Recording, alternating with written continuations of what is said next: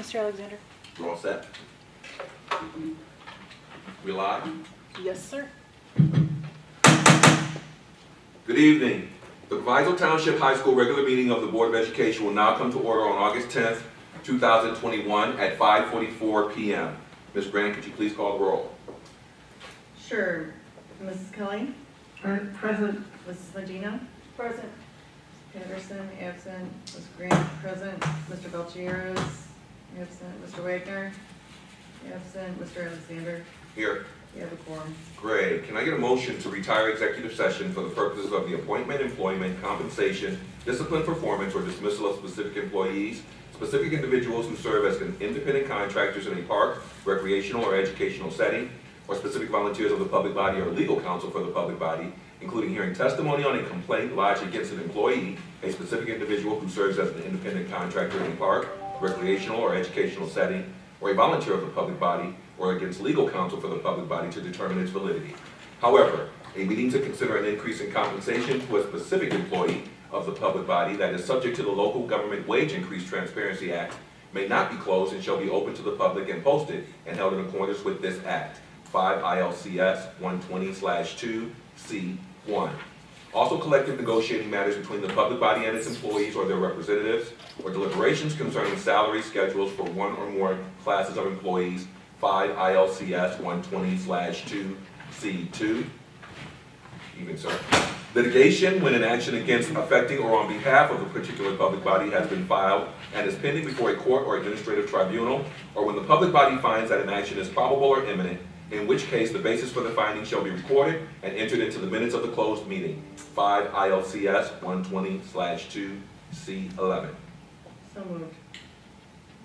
Second, Ms. Grant, please call the roll. Uh, Mrs. Kelly? Aye. Mrs. Medina? Aye. Ms. Patterson, absent. Ms. Grant, aye. Mr. Valtierrez, absent. Mr. Wagner? Aye. Mr. Alexander? Aye. Motion carries. We are in closed session at 5:26 PM.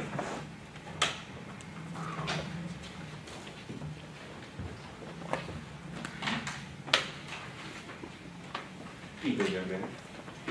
Mute the- Pardon my, uh, Not late, sir.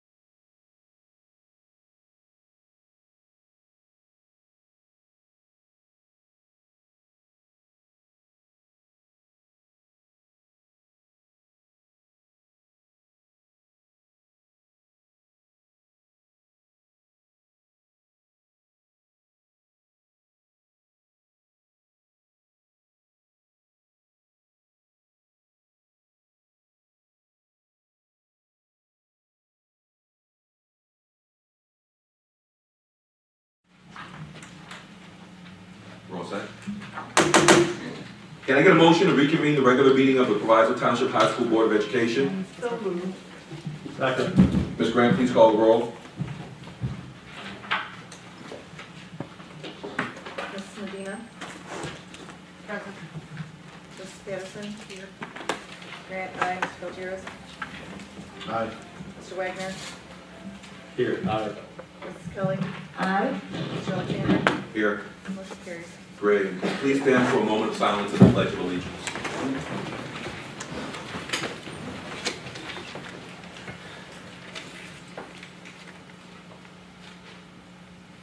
I pledge allegiance to the flag of the United States of America and to the republic for which it stands, one nation, under God, indivisible, with liberty and justice for all. Grant, please read the vision statement.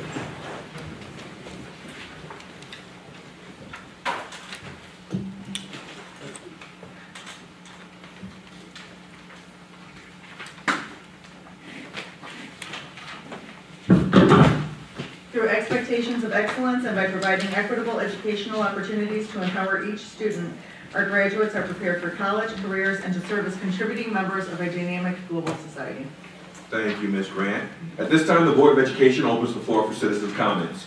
When the agenda was posted for this meeting, a link for citizens to submit comments in the form of a video was provided. Please be informed that this will be our mode of operating during the pandemic. Comments that have been received will be played for the board and submitted into the record. The board will also receive public comments from any individuals present this evening and have submitted a request to address the board per the established procedures. We believe that all participants in the meeting desire the best outcomes for our students, families, and communities. As a reminder, this meeting is being live streamed and will also be archived and available on the district website. Drum roll, please. Um, we have two video comments, so we're gonna go ahead and do those first. Great. How many do we have that, do we have any present? Um, Oh, hang on one second. Hold on one Uh. Yeah, we do, we have a handful of people who are present. And the business. One moment. I need to get the audio back on.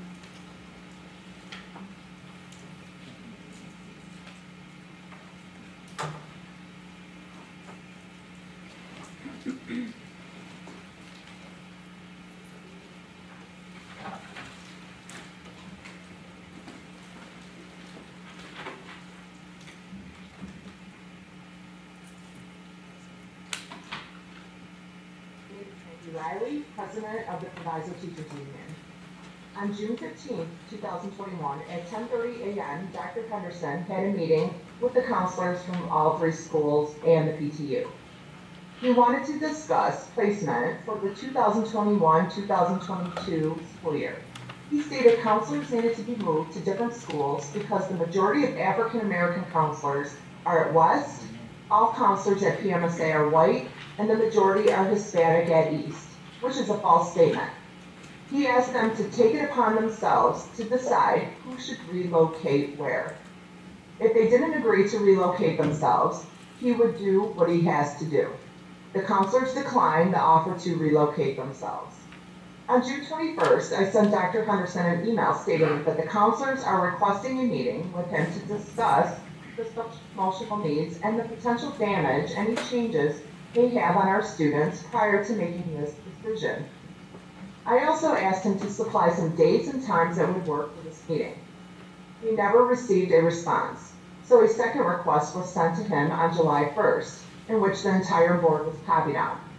As of today, no response has been received. This unprofessional behavior is unbecoming of a superintendent who stresses transparency and wanting to work with stakeholders. On July 2nd, six counselors received a notice of transfer. Both the counselors and PTU believe these changes will have a negative impact on our students. Most students have not been in person in over a year. Students have built relationships with their counselors, and we want to see a smooth transition for the students, and we believe these relocations will have a damaging effect on their social emotional needs. Please reconsider the transfer of the counselors so they can continue to work with our students with whom they have relationships with.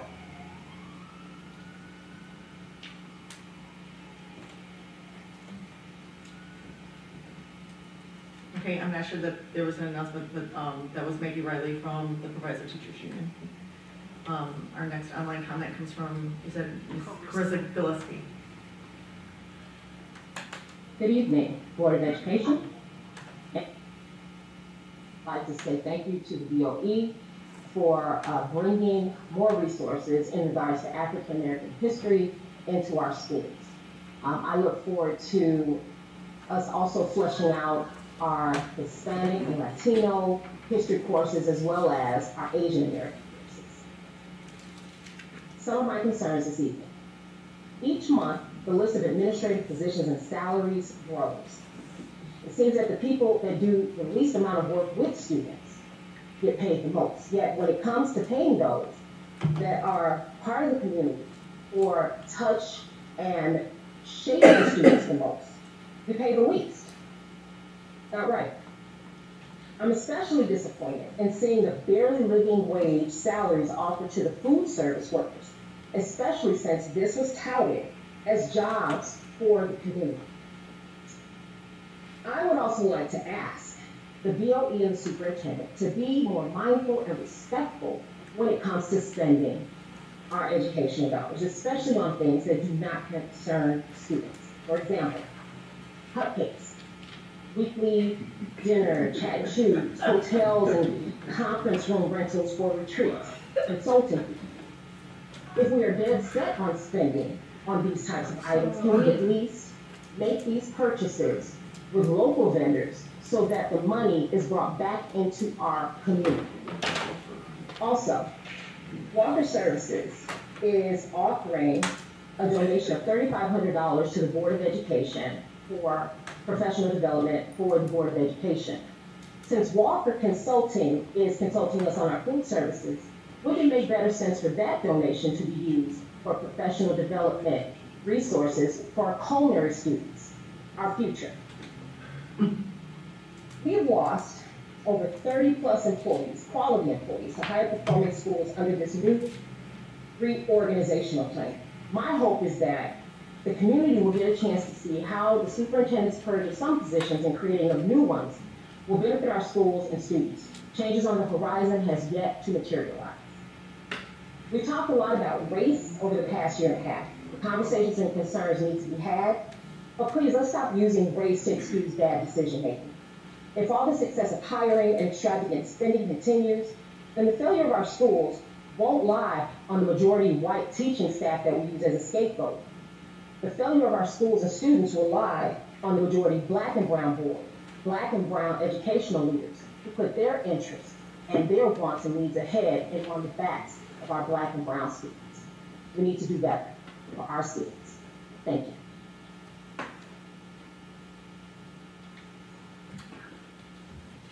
Um, Now we have our in-person comments. If, uh, when I call your name, please come on up.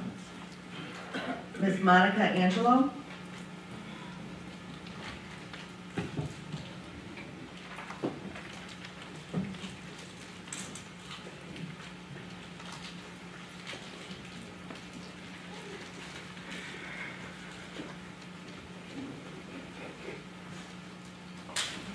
Hello, good evening.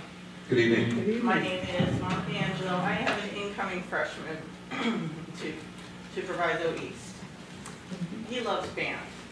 He is, he went to band camp, absolutely loves Mr. Seals.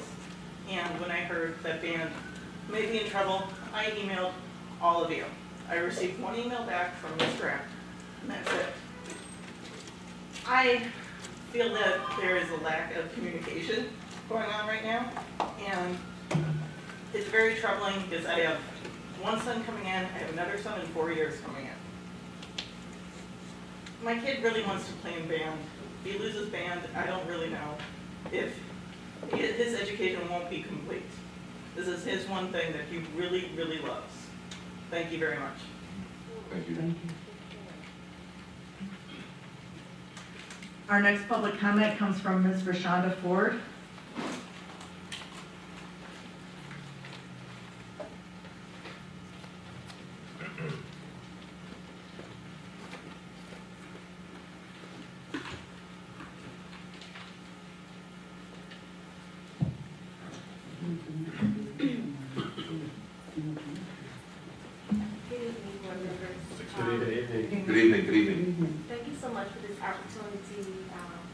To address this issue.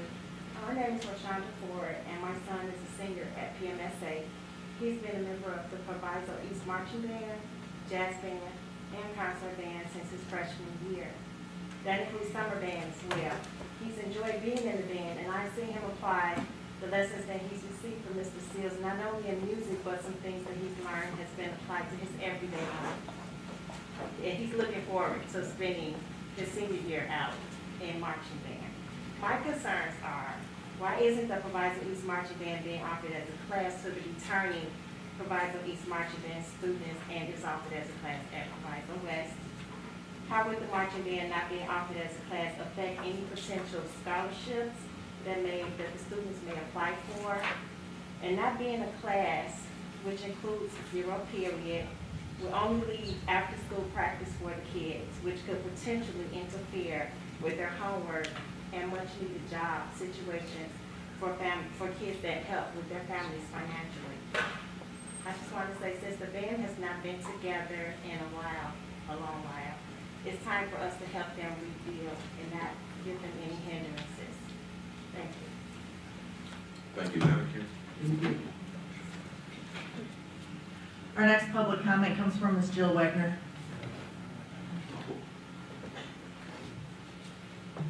Good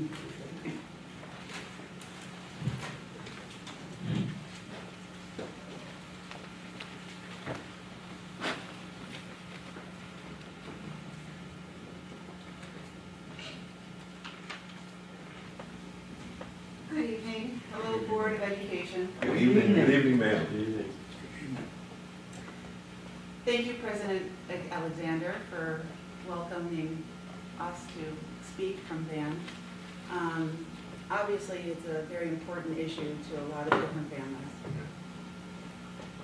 So I think there might be a miscommunication going on. And sometimes that happens, and it's okay to fix miscommunications. But for the past three years, kids that have been in the Proviso East Marching Band have been in the marching band because they have gone to their counselor and asked to be in marching band, because it hasn't been on the menu to be in band. So every kid in the Proviso East Marching Band has been recruited to be in marching band. So that's just been the way it's been at East for years. That's just part of the culture. So the past year, there hasn't been a student in school. Makes it hard to recruit kids to be in band. And then tonight I was thinking, how many kids at East are registered for school before the first day of school? I don't know. But I seem to remember that that seems to be kind of an issue at East. That there are a lot of students that don't register until the week of school. So it's hard to know how many students are interested in band when you have a small percentage of students that are actually registering for school, okay? I have a rule that I do not come to board meetings, and I'm breaking that rule tonight because it's important. This is a really important issue. Ninety-five percent of the kids who apply for scholarships that are in the marching band get them. This is a pathway to college. And I know everyone on that board cares a lot about school and cares a lot about the kids and cares a lot about their futures. And you can do anything you want. You can do anything you want, right? You can say early bird band for East, right? And then in four years, when you're scratching your head trying to figure out why there are fewer kids going to college, the next board of education will say, well, maybe we should promote and help the classes that promote kids that go to college, right? And that's fine, really, however you want to do it, it is, is, is your jam. Um, I do think that this is going to come to a smooth landing. I think that this Board of Education tends to make good decisions. Sometimes they stumble and they right themselves. I do think that you tend to make overall good decisions.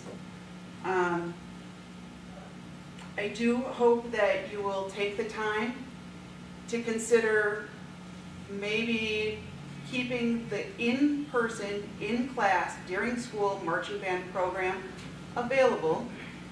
Um, It takes a long time to learn an instrument, and the students that are coming in from our foundation schools don't always have the same skills available. And that's why Proviso East has an in-person, in-band program that has been stopped, basically, for the past year and a half. All right, God bless, thank you. Thanks, Jim. Thank you. Um, was that the three-minute mark, or was that like a national weather service situation? Okay, we're gonna need to change that. that- Just kinda- Oh, okay. Uh, next, uh, speaker, we have, uh, Ms. Jennifer Barbahan.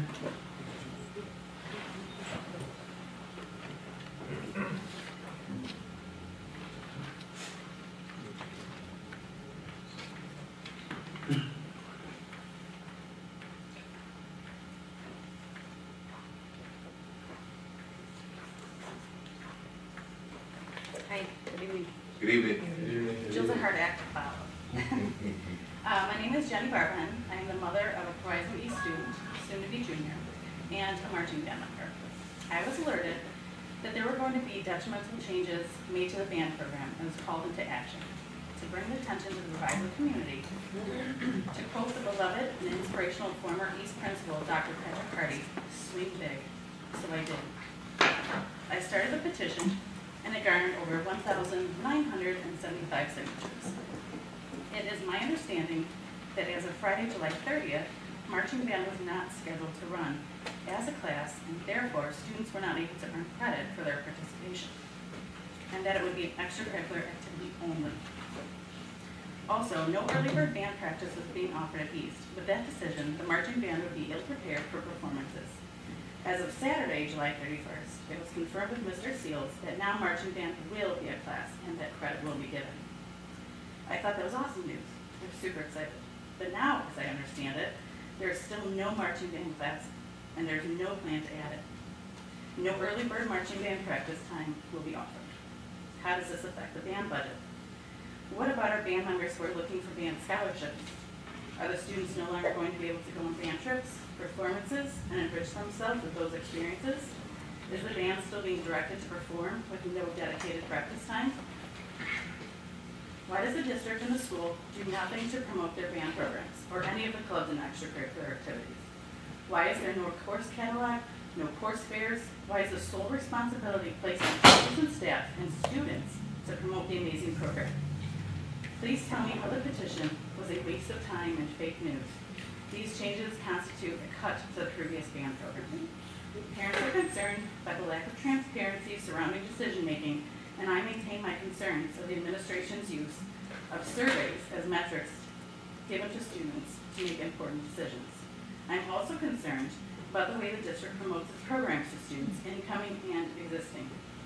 But maybe more alarming than all of that is that teachers and staff are not being heard, and when advocating for their students, they are being shut down. Several teachers and staff reached out to me, thanking me for speaking out in favor of student programs and sharing how they are scared to advocate for their own students. It's a sad state of affairs and an unhealthy work environment when your teachers are scared to speak up in fear of retaliation. How is this acceptable? Teachers are afraid that they will not will now be put on the troublemakers list. If they advocate for their students' best interest, they are stressed and fearful and sad that their jobs are in jeopardy. Anyone who thinks this is normal or acceptable does not have the student's best interest in mind. Our teachers are the best connection with our children, and if they are afraid, how can they provide a nurturing learning environment? The community has unwavering support for its band students and its amazing teachers. We want the band program to thrive and continue to build its legacy. It's heartwarming the amount of support that the band has received. I urge you to reverse the decision to no longer offer band, marching band as a class and implement the early bird band practice. I'm also hopeful that better relationships can be built and trust restored to the teachers and staff who care so deeply for their programs of students. Thank you. Thank you. Uh, our next in-person speaker is Ms. Shannon Wood.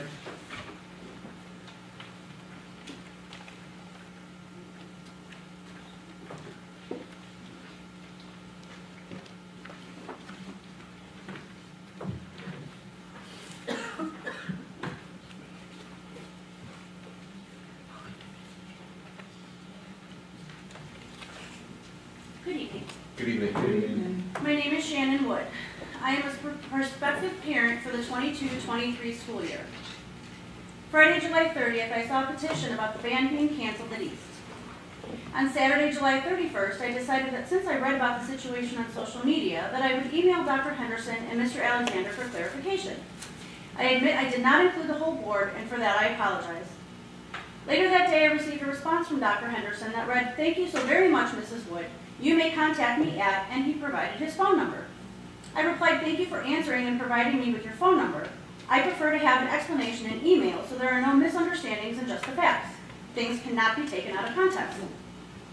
Dr. Henderson's next response was, "I am driving and will be for several hours. You may contact me via phone, or I will be in the office next week and you can stop by my office to address your concerns."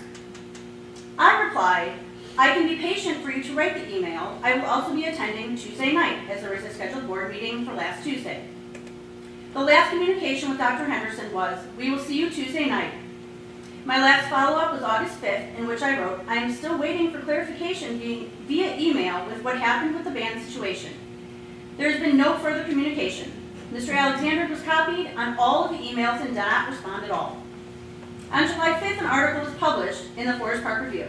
Quote, he, Mr. Alexander, also lambasted Barbara Henn's petition as misinformation and a waste of time. He said if Barbara Henn and other parents and community members wanted to know more information about the band's status, they could have called him on his cell. The public is being asked to have phone conversations. Things can be forgotten or misinterpreted through phone calls. It is also very easy for anyone on that call to go back and say, I never said that. Written communication is clear, concise, to the point, with facts. It protects all involved to make sure no mistruths are put out. If I had an email response, I would have been able to help clear up what was considered mistruths on social media. Seems like a win-win to me. The second quote from Mr. Alexander, quote, I didn't say anything on Facebook but the facts, he said. She told her story. Her petition is based on untruths. You come down the street raggedy, I'm going to correct you. I did not curse. I did not call anyone out of their name. I made factual statements. That's in response to your untrue petitions and putting up false information and she has a problem with me. She doesn't even know me. As the board president, Mr. Alexander, you speak on behalf of the board as a whole. Again, you speak for all of your board members. Members, are you okay with how Mr. Alexander represents each and every one of you? No. I am not even a parent in this district yet, and I feel shut out. I do not have any trust in 209 at the current moment. This can change. Be clear with communication. Reply to emails. Don't have off-the-record phone calls. This can come off as shady, which leads to mistrust. Mistrust is what has broken this district before. Let's not let that happen again. I'm almost done. When anyone on the board lashes out at the public in the way Mr. Alexander has been, the message given is that nobody's concerns matter. Mr. Alexander, I leave you tonight with something I came across today.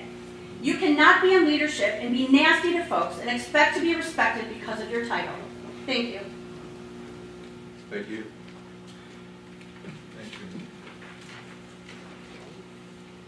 Our next public comment comes from Ms. Maria Maxim.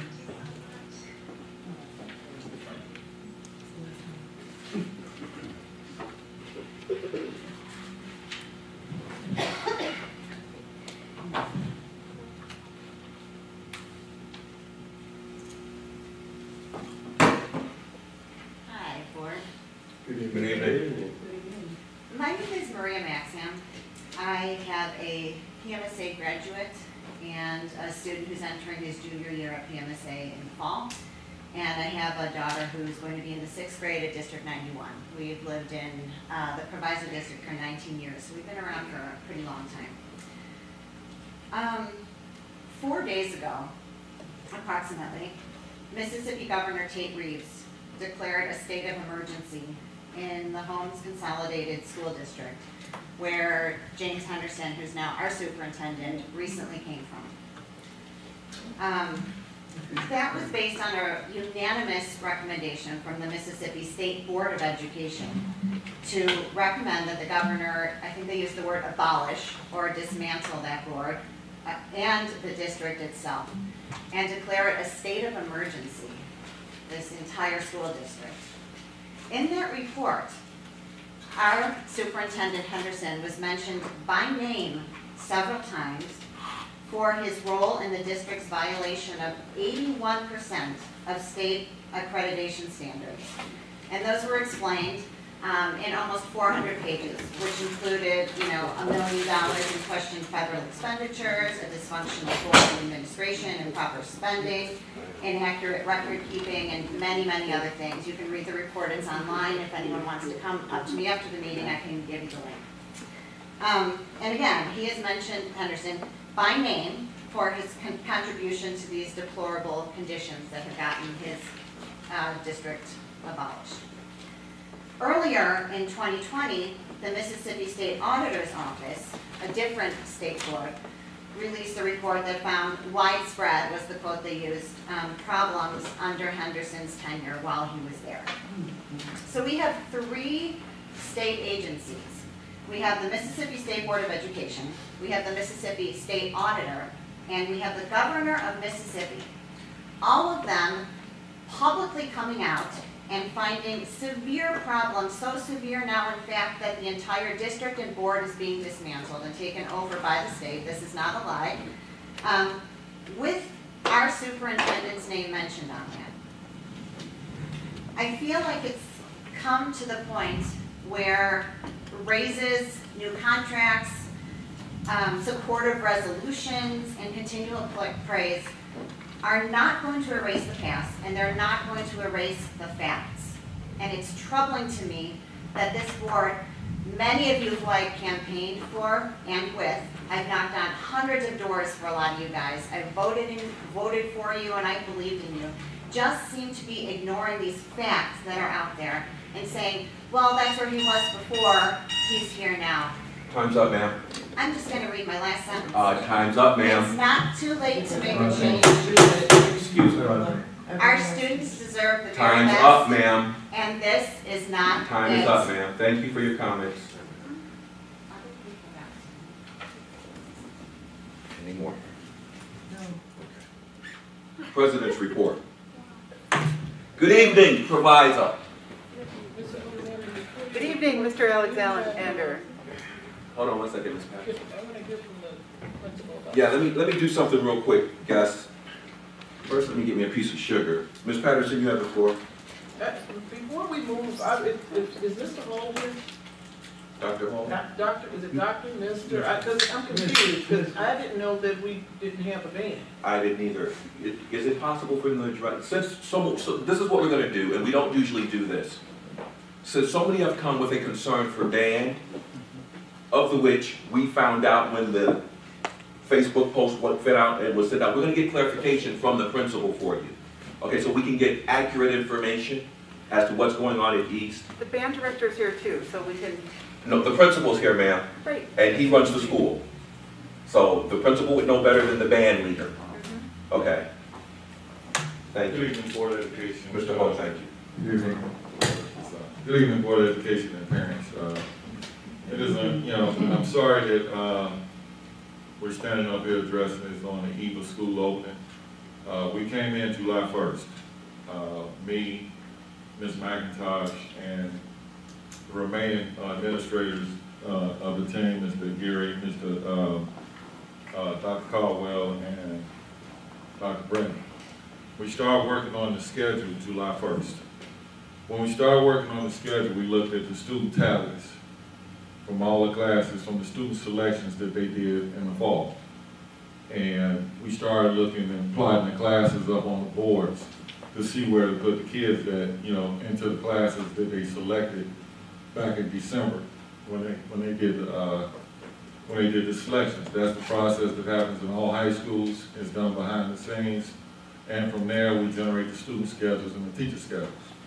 Ms. McIntosh came in, she started working on the board while I started working on staff, and and she'll take it from here.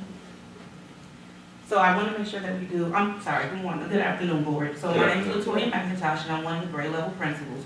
So when I came in, one of my tasks was to make sure I started working on the tallies for the new year. So as he said, students are given the opportunities by their counselors. Counselor goes in, they actually have a one-to-one meeting. This is not a group thing. Sit down with the counselor, the counselor tells them, let's look at your transcript. Based upon the transcript, tells us what are the classes they're going to take for the following year. They do this in order to know what classes will be offered. there is a sheet that the students are given. The sheet is not blackened out where it takes off band or it takes off choir. It gives them an opportunity to pick everything. Band is on there, concert band, and also the marching band. So when these students put their names down, we do not force students into classrooms. We allow them the choice to pick. You can go back, you can look at our tallies. When we came in and we looked at the tallies, unfortunately, there were only four students. Four. Four students who picked marching band. So unfortunately, what happens is that people don't understand that you need a certain amount of students to- for a class to actually go. You cannot have a class with four students. So I will say this again, I came in July the first. So when I came in July the first, at this point, we're in the middle of summer. So if we're in the middle of summer, I don't have the opportunity to go back and say, students, there are only four students, are there any, is there anyone else who wants to raise their hand and volunteer to be a part of the marching band? We're not gonna force the kids into the marching band. When we noticed that, that there were only four students, I did talk to Mr. Seals. Mr. Seals has had four different conversations with me. I even emailed Mr. Seals, explained to Mr. Seals what a tally means and what's going on with the marching band. So he asked me, what does that mean by what is a tally? What do you mean about the marching band? I said, here's what's going to happen. The marching band does not have enough students in it, but you do have the option to actually offer it after school. You have 100% of our support. So what the parents are telling you, that is the truth when we said, yes, the class can be offered after school, but not during the day. So marching band is not being offered, not because we decided to close it, he didn't have enough students for the class to run. So what ended up happening is, let me make sure I also make this, this point of clarification. Mr. Seals didn't even have enough students for him to have five sections. So five sections means five periods in the day. All of our teachers teach five periods. There wasn't even enough students in his tallies for him to have five periods. So when we think of that, we think like this. At a minimum, when you look at it, at the teachers union, we cap our classes off at 27 students. So at a minimum, he needs about 27 students in the class to run. But because he's banned, he gets about 40. He didn't have 40, he had four. Those classes, you're more than welcome to still look at my tallies, they're still there. So those four students, we didn't collapse all of his classes. What I did was, is that I helped Mr. Seals. I stretched him very, very thin to keep the band running. So with the band running, he is offered five sections. I'm not gonna say what the five sections are, because I don't know if I'm able to say that. But I can say them. So Mr. Seals does have concert band. He does have, he has choir band. So he still has these classes, but the marching band is not being offered. So the marching band is offered after school, but he still has concert band. He still has beginning band. I did also ask Mr. Stills because he had a two and a half hour conversation with me in person. You will see it in the email where he asked, can he meet with me? I said, absolutely. He came up five minutes later. Two and a half hours, we talked about it. I explained to him what tallies were. I explained to him why he only had this. My next suggestion to him was is that he needs to go out and actually create a plan where he comes back and lets me know, here's my plan, is here's how I'm going to recruit. So he says, well, we had COVID going on. I said, I totally understand that. COVID would explain freshmen coming in.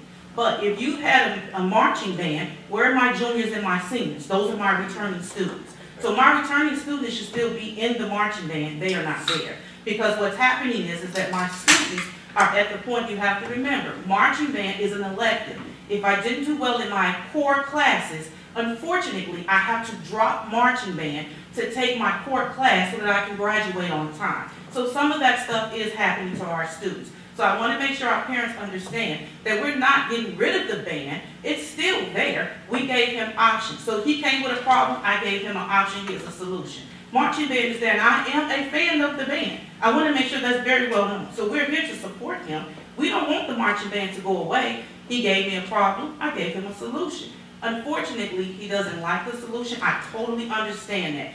But right now, the best thing for him to do is, is for the parents and Mr. Seal to continue to work with me, even though I'm not over the band, I don't have a problem with it, to work with me, and we come up with some type of solution where he goes out and recruits. So right now, he cannot recruit during registration. So I want to make another point of clarification when it comes to registration. Students pick their classes in November, not in July. That is closed. That is how we find out how many teachers we need. So that tells us if I need 100 teachers or if I need 50 based upon the numbers. We don't pick classes in July. That part of our session has closed, so it's not has nothing to do with registration. So a child picks their classes in November, Even though they're not registered, your classes are sitting there waiting for you. So it doesn't matter if you haven't registered or not, We're still gonna take these babies. So even if you haven't registered, I have a class waiting for you because you told me in November what class you wanted, and when registration opens, which is five months later, that's when we do it. So if you, if you've never come to the registration, when people walk in, your paperwork is already ready. We don't build the schedule in front of you. Your schedule is waiting for you. So I think that may be a little bit of misunderstanding with that part. Yes, sir. Thank you. Additionally, Can I ask a question to that though? Hold on, let him finish, Ms. Medina, please, and I I have a have the question for floor. her before he, Can he before the next finish? person starts. Please let him finish, and we'll give you the floor, ma'am. Just let him finish, because he may answer it. additionally, uh, as he was meeting with him, I met with Mr. Newhouse, Mr. Newchurch, who's the band assistant, and they were getting ready to start the band camp, and I was asking them, you know, what did participation look like? Did they work with the feeders? How many feeders, you know, of the kids that had band in the feeder schools actually were attending the camp or where we offered programs and invited those kids in either before school or after school so that they could just come into the band and get the numbers up. And, you know, I did, he did mention COVID, but it's like, well, what's the long-term relationship? Because the are, these are the same feeder schools, then those kids, you know, we've been, we've been working with them and inviting them over and inviting them to the camps. Those kids would naturally just move into the band. And we've had several, several conversations with, uh, Mr. Newchurch and the band director. And I've been a part of them. She's had the bulk of them, but most of them are happening in my office as we're doing multiple things in there. And so these meetings are happening. And so, you know, uh, I know you had a question. Yeah. Okay.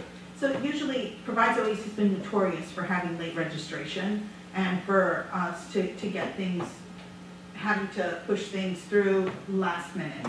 So because of that, um, and, and being that this has been a historical class, is there no consideration into the history of the class and how it's been over time? Because I agree with, with, with the fact that we had COVID and, um, participation has been really low. Um, a historical class, especially one that brings as much pride as the marching band does, why would that, even, even if you have four, why wouldn't you keep that open with late registration? There's a lot of movement, and a lot of movement, a, a lot of that movement has gone towards those, those art programs historically. All right, so I don't think that she fully, un- I think it was thirteen different Yes. classes offered Yes. for one teacher. It was thirteen different classes offered. There was only twenty-five total talents out of all thirteen of those classes. When she said she collapsed it, we talked about the classes that had the most talents, and those are the classes that carried. It could have, you know, one of them was beginning band, one of them was choir band, one of them was concert band, you know, so it was, it was multiple band classes, there was thirteen classes offered. So are they offered every day? Because there's No, five no, no, no, The- on the course selection sheet, it was Okay. thirteen different, selections. thirteen different classes that the kids could choose from for his classes. The problem with thirteen different selections is that there's only one teacher. And so, if we would have had, if twenty-seven kids or twenty-five kids would have signed up for all those classes, then yeah, we went to the district and asked for another teacher so that we could carry those classes. When we Are looked they, at. are they every day, or are they No, once a no. week, or how, how does, uh, it's was- obvious that he's been doing this for it's- years, so. What I'm essentially saying is that we offered too many classes, which watered down, it would have potentially watered down the selections of the kids, and they would have been spread out over thirteen classes.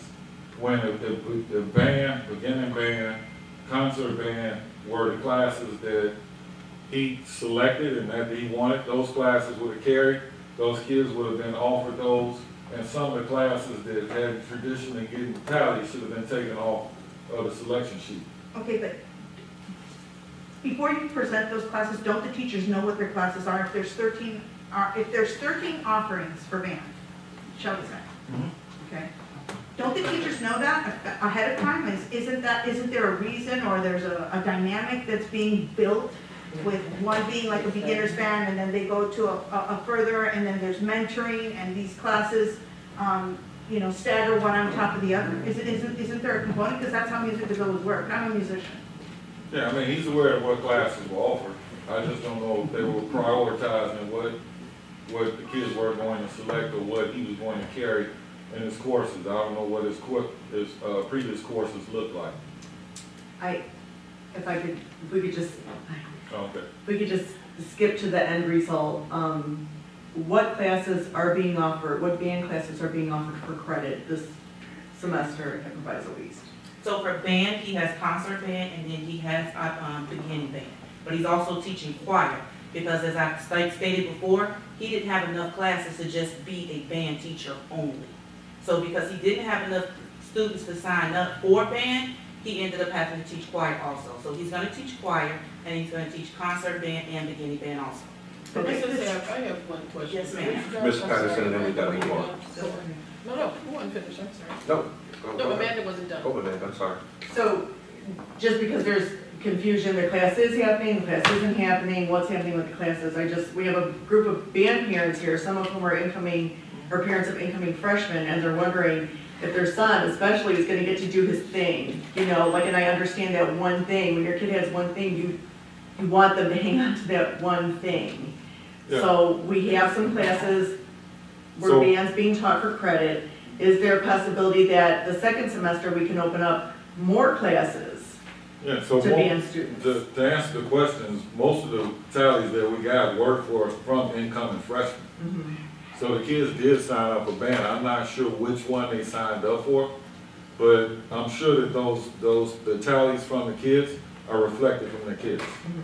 My only other comment that I would make is that being as you did come in kind of new, Ms. Washington, this is your, you know, you're the first time being in administration at East, right? At East. At East, right, not your first time in administration, but your first time at East. Um, you're new here at East, you came in July first, summer's half over, classes have been decided, right, like the November prior. Would it have made sense to look at class rosters and registrations from twenty nineteen to get a sense of how popular band is at Proviso East? Yeah, we did look at that. Okay, The numbers were low in. okay, so this is, all right, so then we have the hashtags and the tallies, and I get that. And we're, I just want to make sure, we have some offerings, so incoming freshmen or people who want to take other classes can take some kind of, some form of band at East. Yeah, we're, we're, the classes are totally there. Any kid that requested had the opportunity to sign up. If a kid that hasn't registered comes in, and, you know, we've had heavy registration the first two days of this week. Uh, if they signed up for it, we'll put them in there. It's not, I mean, it's not I like, have a question, Rodney. Go ahead, Ms. Patterson, we gotta move So, on. uh, I have a- I have a question too, Mr. but, President. um, in reference, so what I'm hearing is, we- one, we do have a band, because when, when I heard we don't have a band, that's not true. We have a band, we don't have early bird band, right? we don't have continuing students that continue to. And with the early bird, band. and that was my concern. Because I believe the instructor, and correct me if I'm wrong, I've heard pandemic a few times, but did he not have communication with his kids, his students during the pandemic? Yeah, you can't do music over Zoom. Did, did he not have, uh, communication, so was he working every day and not communicating with the students? I'm- He was working, uh, I don't know what his communication. So my, my question then is, well, the, the point that I'm trying to make, you had sophomores, you had juniors, and you had seniors. That's your group that was already a part of Early Bird. And am I hearing you say those students didn't even sign up? Okay, which, another point I'm gonna make, if he was communicating with his students every day, because school was remote and you still needed to communicate with your students, at that point, that should have been pushed. You guys, um, back in December, uh, when the courses were being picked, don't forget, you need to sign up for early bird. Um, I remember a point in time, there was no early bird, everything was done after school. Band practice after school. Then they moved when they had, uh, early bird. But when I hear pandemic, the teacher should have been communicating with the students during the pandemic, saying, hey, make sure you guys sign up. I can understand the freshman parents, But a sophomore, junior, and senior that was already a part of it and didn't sign up, that's concerning. I mean, all right. So, um, I guess I'm going to, I'm wearing two hats right now. right? I'm a board member and I'm also a former marching band parent.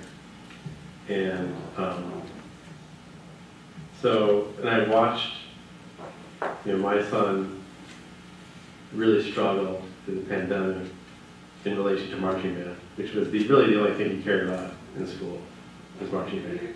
The rest of it he really couldn't give a crap about.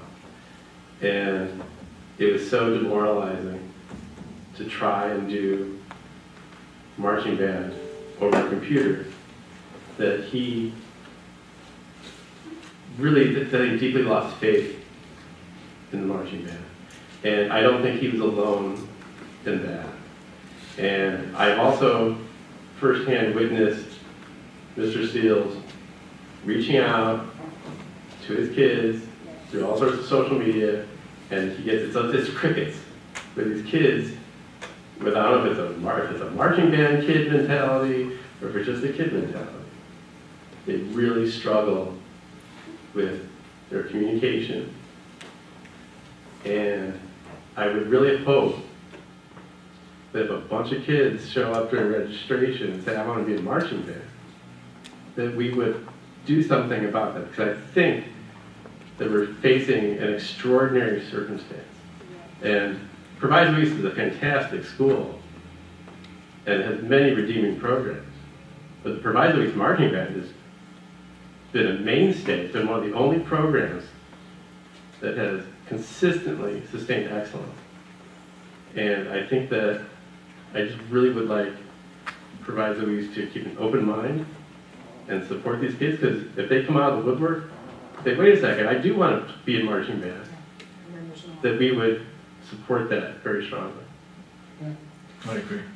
I would say, Thank you, guys. We're, just, we gotta move on. You had I'm Laura. sorry, I, I Go ahead, Ms. Medina, but we've gotta move on. Go, go, go, go, go. I would Please also say, quick. and I want to reiterate, marching band is something historic in Proviso East, which brings a great sense of pride. And by canceling the, the class or not having the offering, what could happen is that the kids will, will, uh, the, the the program could just fall apart.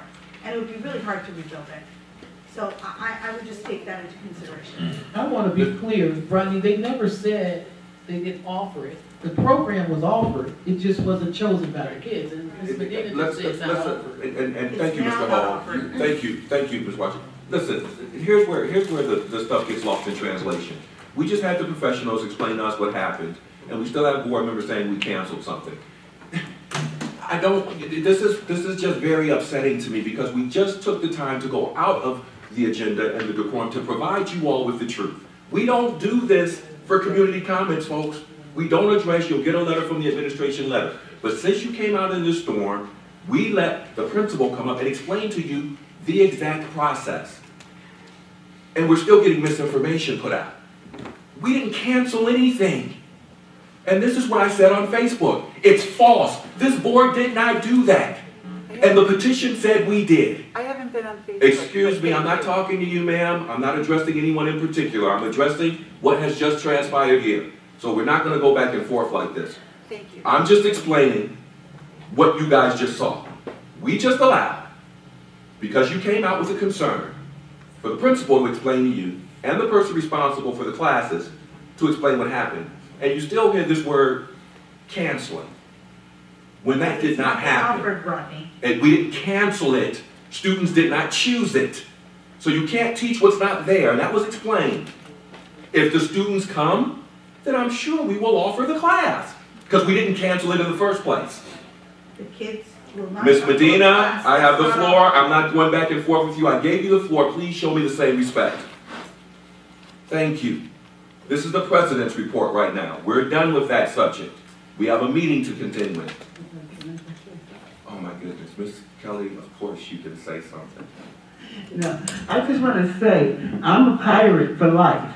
And um, I, att- I graduated from Proviso East. I love the band. Even when teachers went on strike, I went with the band down to Jackson State to chaperone. So, I mean, anything that I can do for the band, I'm here to do it for the band. And we will not, we will not be disbanding the band. No, we haven't done that. Thank you, Ms. Kelly. President's report, thank you, guys, thank you for explaining. Um, I'm gonna make this quick. If, um, I, I stay off of Facebook.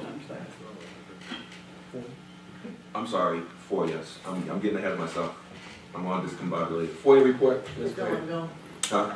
I was gonna let go. Let me, let me, we can just do it afterwards, it doesn't, yeah, we switching Yeah. everything else around. Okay, that's fine. A FOIA report? In July 2021, Proviso Township to High Schools District 209 received the following FOIA requests.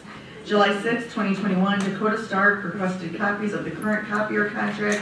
Information was provided. July 9, 2021, Carrie Arnold requested copies of employee compens- compensation information for the 2020-2021 school year, including salary, title, and location, years of employment, school year 2020, 2020, 2021, and school year 21, 2021, 2022 salary schedules with a minimum, midpoint, maximum for all administrative, management, teaching, and leadership positions, pay policy documents or procedures governing employee compensation, employee benefit summary plan descriptions for medical, dental, and vision plans, including a breakdown of the amount of employee versus employer contributions for the 2020-2021 school year. Information will be provided. And on July 20th, 2021, Avery Daniels requested copies of administrative contracts for the following administrators hired for the 2021-2022 school year. Leonard Moody, Finance Department, Cyrus McGinnis, Athletics, Kisha Wang, grade level principal at West, Michael Pritchard, Director of IT. Um, I notice this does not say information will be provided. Is that, information will be provided, Mr. Gleason? That's correct. That's correct, okay. There's another FOIA that was not added. I asked, I FOIA'd uh, information on graduation requirements. Excuse me, And it me, was Ms. not Medina. included Excuse again me. in the report. So this is what the we're gonna third do? time that I put in a FOIA and it is not included So in this the is report. what we're gonna do. Thank you. Thank you. President's report. Thank you all for coming out on this thunderous evening. Let me first say, a- as, as the president and, and spokesperson of the board, I don't take that lightly. If I offended anyone in the media through my comments on Facebook, I, I humbly apologize for that. That's never my intention. I'm your servant. I'm here to serve you. A lot gets lost in translation on Facebook, and you'll never see me commenting on that thing. Facebook's the devil to me, because you don't get to really express your concern and discontent. That was sent to me by a mayor, that petition, on a Saturday evening. And when I read it, I immediately contacted Dr. Henderson to see if it was true. Once my one employee tells me it's not, then that's what I'm going to tell you. And as you've seen this evening, it's not true. This board has not canceled anything, nor would we cancel anything. And if you understand anything about this board that you elected, we're adding to students' experiences. So if there's a misconception or a misunderstanding, this board, as I stated on the Facebook page, can, can, I can be reached directly by phone. I take issue, as most board members would, with the amount of work we do being told how I have to communicate with 7,800 plus people that I volunteer for. I do have a job and I do have a family. So it's a preferable way for me to pick up the phone and talk to people. I'm not sitting in front of a computer any day of my life, and I do a lot of driving on my day job, so I cannot do that, I'm sorry. But I will talk to you till the ears fall off. You can record me, you can do whatever you want to. I'm a man of my word. Everything that I said to Michael Romaine, I meant. I'm never off the record when I talk to him. Everything I say, whenever he calls me, including today, I'm always on the record because I mean what I say and I say what I mean. So I'm a man of my word. So if I tell you it's not true, you can take that to the bank because it's not true. There's a misunderstanding. We need to get to the bottom of it. But signing a petition and making false accusations and getting people riled up is not the responsible way in my purview to do that. Not when your board members have their phone numbers on their card. And some of those people on that thing, you heard me get them. You guys could have just called me. You didn't have to take and do all of this. You could have gotten to the bottom of it, that's all. My concern was for your time and the information that was being put out there because as we learned this evening, it was not true. It just wasn't. And this board has not canceled any classes in the four years that I've been on it. We've not taken anything from students in the four years that I've been on it. We've made strides to make sure that there's money and additions to the students since this board has been active up here for the six plus years. everything from books to computers, that's what this board has done, and that's what we stand for. So it's kind of almost personal to be attacked that way, to say that we would cancel or take something from students. We, we, there's no record of that, you won't find it in six years with this board. We've never done that. We've made strides to make sure, at the expense of other things possibly, that everything's available for the students. I want to thank the board for the privilege and the honor of serving. But I definitely want to thank the community. Don't think, even when we disagree, that you're not heard. We work for you. And it's very important that the community understands how we sit up here. So none of us sit up here with a, with a, with a big head or anything. No, this is work. Folks, this is a lot of work. We do not get paid, regardless of what you think.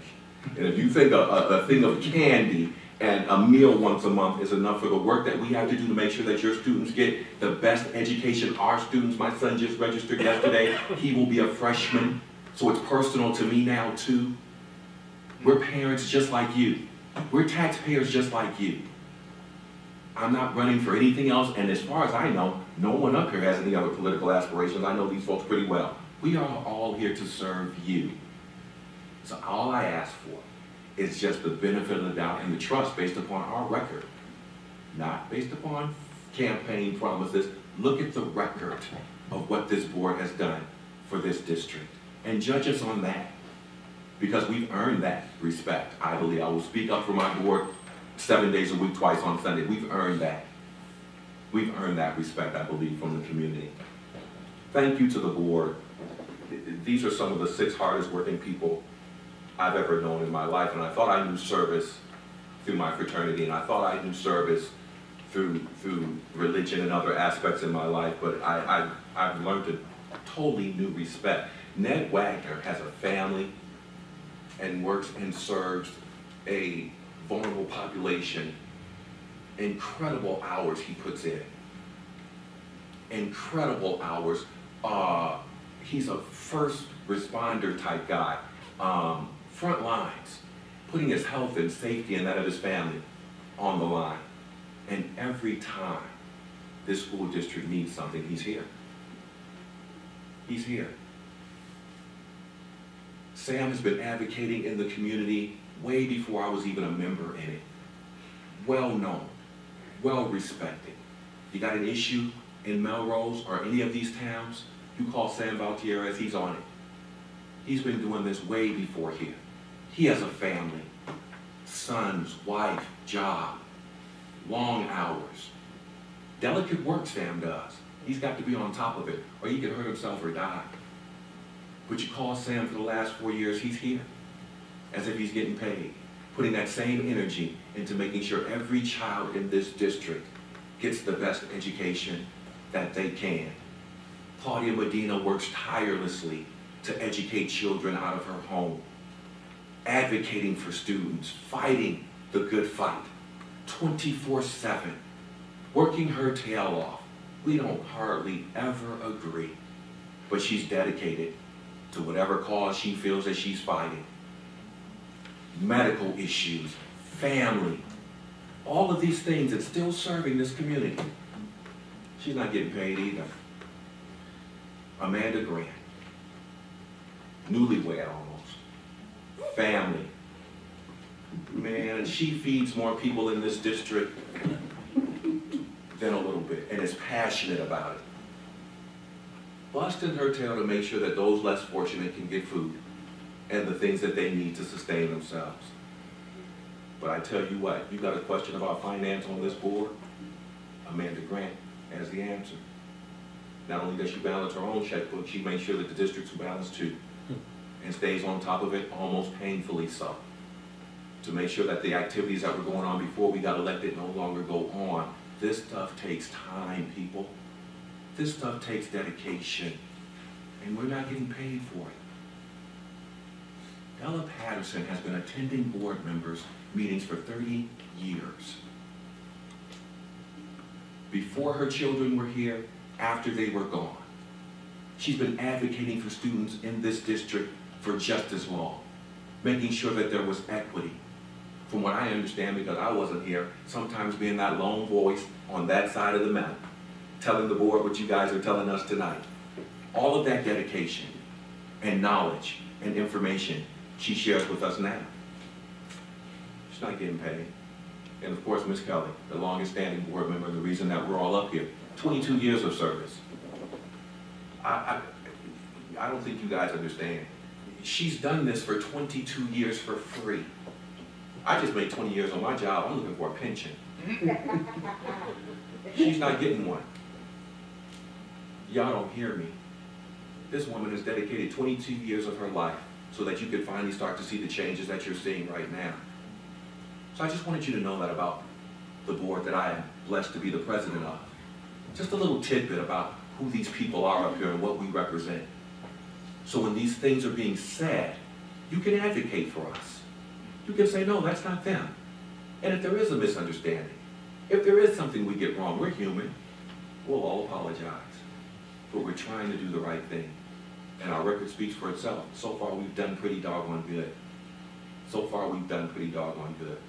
Dr. Henderson, your team continues to amaze me. Since the fall, we had a historic graduation. Uh, the drive-through graduations were just impeccable. They were incredible. I think I read the letter last month, brought tears to my eyes that the parent me, saying how it just really warmed her heart and that it was personal, even more personal, given the restraints of COVID. We still managed to come up with a graduation ceremony that was memorable, to say the least. Summer school started without a hitch students were able to get in there. My son attended summer school for the first time, and I'm telling you, with freshmen, 14-year-old boys, you're just kind of throwing stuff up against the wall right there to see what sticks. You know, try to get them off the video games, trying to find something. He came up here every day religiously for two hours and wanted to come for the STEM program, was engaged. And that's a tall order to get somebody who I can't get to be focused too much on anything, but thank you to the administration for that that experience. And I heard from several parents saying the same thing. Summer school was beautiful. You pulled off an administrative retreat after restructuring all of these things, then turned around and had a board retreat. Two town hall meetings. Ongoing contractual work and, and, and construction in the district. Saving us all kinds of money. Adding classes and curriculum I won't say why we won't have the eighth period day this year. I don't think I can say that, Mr. Gleason, can I? Please don't. I, I can't say why, which is another impediment to some other things that we discussed tonight, but I can't say that. But we're working to add to our students and our scholars. Remember I said, folks, I have no political aspirations. I will only be president for a few more months and then I must move back to my corner. Somebody else will sit here and have the joyful burden of being having their names called in mis in mischaracterized. We do this because we love our township. We do this because we believe that we want better for our students and that you do too. That's the only reason. And we do it because we believe and know that it can be done. We know it can be done, and that's why we're doing it. It's not a maybe, it's not an if, it's not we're trying, no, we're doing it. We are doing it. And that's evident in the record of this board.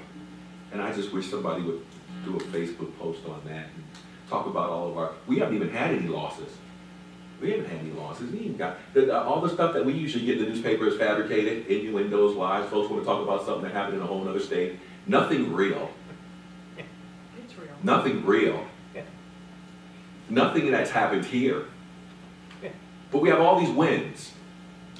We have all these beautiful things for Proviso Township High School, and nobody wants to talk about that. It's crazy. It's like the more you do, the more people just don't want to believe it. Uh, maybe it's deficit mind thinking, I don't know. Um, but I will tell you guys this before I close.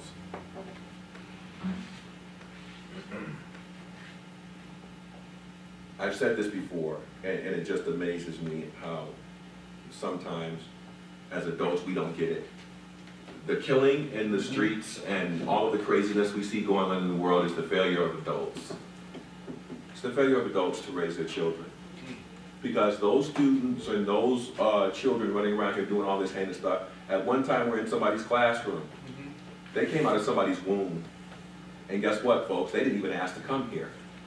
So if they're doing what they're doing now, that means somewhere between coming out of the womb and getting to where they are right now and making those choices, someone failed them.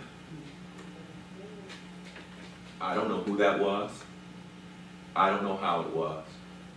I just happen to know after a certain amount of time, the society doesn't care anymore. You're going to jail or worse because you're an adult. But the choices, the processes, the things that should have been put in place for them, obviously were not. And now we see the harvest. 49 shootings last weekend. A, a, a young female police officer just lost her life a, a night ago. Mm-hmm. And from what I saw of the pictures, these were three young adults that are responsible. They were once in someone's classroom. They come from someone's home. What I'm saying to you, Proviso, is that if we don't get this right, that will be our failure, and those responsibilities will be ours. Just like the failures of the generation, which I like to call mine, because these kids are old enough to be mine. That's, that's our harvest for failing to do what we were supposed to do. Make no bones about it. You plant apple seeds, you're getting apple tree. Mm-hmm. You ain't getting oranges. Plant apple seeds, you get an apple tree. You ain't getting oranges. You want oranges, you gotta cut the tree down, retail the soil, get it all ready, and plant some orange seeds. So in Proviso, we have a once-in-a-lifetime opportunity, Dr. Henderson, to get it right. Mm-hmm. To make sure that our children are really educated. That there are no such thing as alternative facts, and that we're not arguing with adults over mm-hmm. fake news and issues that we really shouldn't be arguing over that have nothing to do with children. The, the issues that do, we definitely want to take those up. But the issues that don't, we're wasting time if we do. We're wasting time, and it's not our time anymore. We've had ours. We're wasting the time of the scholars and the students. So I call upon the community to do their part. Parents, make sure your students are registered, if at all possible, on time. Make sure that they're prepared the first day of school. We have services and, and, and plenty of things available if there's obstacles and barriers there for you. But we do know the first couple of days of school, especially the first day, is very important. Please make sure our scholars are in the classroom. We're making sure that the, that the hallways are safe and the plan will be presented tonight about how we're gonna bring all that stuff to fruition. We just need the parents to do their part, the caregivers to do their part. We can't come to your door, unfortunately, and, and make sure your kid is up. We can't do that. We need them here so that we can do our part. And trust and believe, if we get them here, we got the rest of it. But in as much as you're gonna send them to us, I'm gonna ask you one more thing. And I believe Dr. Henderson knows this, and he means it from the bottom of his heart too. You send those children to us, you send our children to us, I promise you we'll take care of them. I promise you that they will get the best education that we can give them. We will no longer accept anything less. We're not playing the numbers game anymore. We're not just saying things to make you feel good while you come home wondering why your child still can't read or still can't do. No, we're not doing that anymore in Proviso. We're telling the unadulterated truth, and we're holding people accountable, even us as a board. So we just ask for your support and your help in that, because we're gonna need it. We're gonna need it. And as we do this thing of rebuilding or restoring Proviso, let's reinvent the way we communicate with each other, because that's important. We're parents. We're community members. I am not a politician, I'm sorry. It is very hard for me to take darts. I can take them, I'm a tough guy, five years infantry, whatever. But it's very hard when I know somebody can just pick up the phone and have an intelligent conversation with me. It's very hard when you're misaligned, and nobody here wants their name on Facebook or in social media being drugged through the mud. That doesn't have to be acceptable politics in proviso anymore. That doesn't have to be that way. That's a choice that we choose to make in how we deal with each other. And I apologize once again if I have offended anyone on social media or in the media. I just call it like it is. But I'm a servant. I am busting my tail like the rest of these board members up here to deliver the best product to you all for the votes and the trust that you've put in us. And we're doing that seven days a week. Seven days a week, folks. All right? I can't talk about the eight period day, Mr. Gleason? No, okay. Um, thank you once again, board, for your continued support. I think I've said enough. Dr. Henderson, the floor is yours. Thank you, Mr. President. All aboard! All aboard! That doesn't sound like you guys are on, all on board tonight. Let's try that again. All aboard! All aboard? All aboard. Let's go. You know, one of my favorite authors pen this to paper.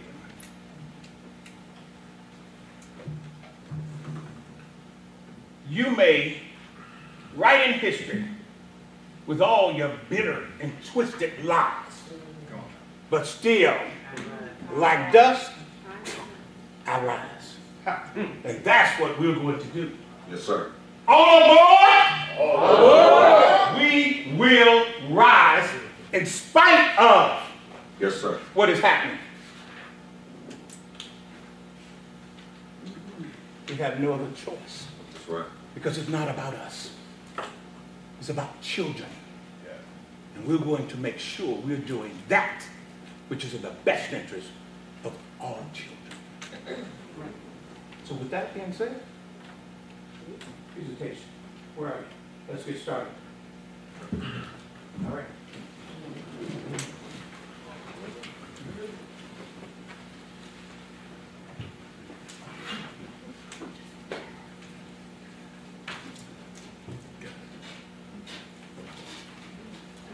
Good evening, members of the board.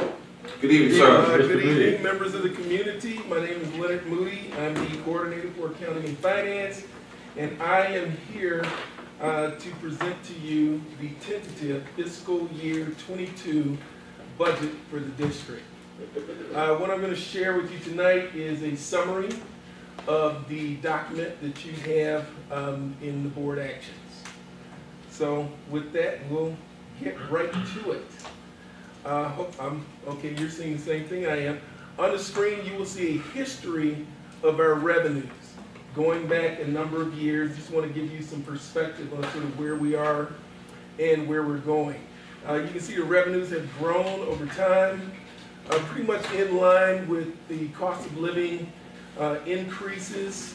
Uh, you see, I've added here fiscal year 21. Those are unaudited numbers but fiscal year 21 uh, pretty much uh, works in sync with the years prior. And if you look at what we projected for fiscal year 22, you see that it's quite a bit higher. And I just want to explain why that is. Um, if you look at the, the items that are in blue, you notice that those are pretty consistent until you get to fiscal year 22. You see the, the amount of blue increases. And that's because those are federal dollars, and that's a substantial increase because of the ESSER uh, stimulus package that was passed. Um, we're getting a share of that. So in this slide, you have the actual raw numbers. Not a lot of people like numbers. I like to see the numbers. And you can see here that our local sources have grown uh, pretty much in line with the cost of living. There's some normal variations from year to year. Uh, we're projecting for, for the local sources of revenue that it's going to be fairly consistent with what you've seen in the past. Uh, same thing for the state sources, but for the federal sources, you see a large increase. We're going to go from 7 million in fiscal year 21 to, I'm projecting 23 million and some change for fiscal year 22, and 18 million of that is a result of the ESSER 2 and ESSER 3 funds. Just some notes from the revenues. Uh, we project revenues conservatively. We try to try to make sure that we don't overestimate what we think we're going to get. So we try to be conservative about that. Uh, this this projection it preserves healthy fund balances. We'll also be able to maintain the financial profile rating that we receive from the state. And it takes full advantage of those stimulus funds. Now we're using um, grants in a new way. Is one of the things that we're trying to do differently. We are actively managing those grants to support the new instructional framework. So, grade level principals and coaching, those are things that can be supported through grants. And that makes sure that we keep our local dollars available uh, for whatever we need them for. There are less strings attached to those. Also, actively managing the grants, we can use those funds to support uh, the addition of an equity officer. And so we don't have to use local funds for that, that new initiative. So we're, we're, we're, we're stretching these revenue dollars. Right now, I want to take a look at expenses. And so you can see the history of the expenses over the last several years. And you can see that expenses have also generally grown um, in relation to the cost of living. I've got the 2021 unaudited numbers here uh, for you to see, and then I've also got the 2022 projected numbers. And as you can see in 2022, there is a, uh, a, a large increase in the green area. That green area represents the investment that the district is making in the FMP. Looking at the raw numbers, this gives you an idea of how significant that investment is. You can see that in the past, we were in the 80s and 90s, growing slowly, but in 2021, there's a big increase. We jumped from 100 million a year in expense to 113. And you can see that for the capital projects, Fund 60 went from 8 million to 29 million in 2021. That increase, again, is the investment in the FMP, and we need to continue that. So if- you look at fiscal year 22, the projection, we plan to go up to 129 million dollars in expenses. Fully 30 million of that will be to support the FMP. Here's some notes from the expenses. One of the things we do with the expenses, we try to make sure that we leave room for growth. Uh, we don't want to box ourselves in too tightly if we don't have to. But it includes an unprecedented investment in facilities. And so that's why you see the difference from year to year. Now, it's partially supported by those ESSER funds. We can't use all of the ESSER funds specifically for construction, but we can use a, a big, significant chunk of those ESSER funds to support the construction. This budget also provides funds for a full return, uh, I'm sorry, for a return to full operations as we uh, recover from COVID. And we're trying to accomplish nothing but the best with this budget. And so in doing so, we are bringing some services in-house in order to provide better service and to provide employment opportunities for the community.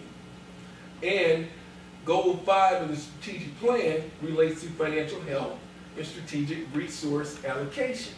And so we want to make sure we're being efficient, we want to make sure we're being effective, and as a result, we are actively managing our expenses um, to a higher level than we've done in the past. So we are going to maximize the impact of our grants. We're going to audit our health benefits, make sure we're not uh, leaking money there, and we're going to audit our utility bills to again also make sure that we're not leaking funds. What's our fund balance, Nikki? I'm glad you asked that. So this slide will show you where we are in terms of fund balance and where we expect to be. So you can see 2012, it was quite a bit lower and it's been growing over the years. Uh, went up a, a good deal in 2019, but after that, we made a decision that we want to invest in the facilities. And so you can see that since 2019, our fund balance, we've taken it down a bit. So it's going to be a little lower. I'm projecting a, a little bit of a lower fund balance in fiscal 22 because of the investment in the FMP.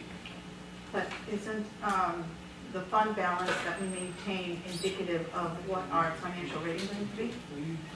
It will, it does. And I think in this next slide, you'll see that even though we're projecting a lower fund balance, there's a good reason for that. There's a rational uh, financial reason for that, and that in spite of that, our fund balance is still very healthy.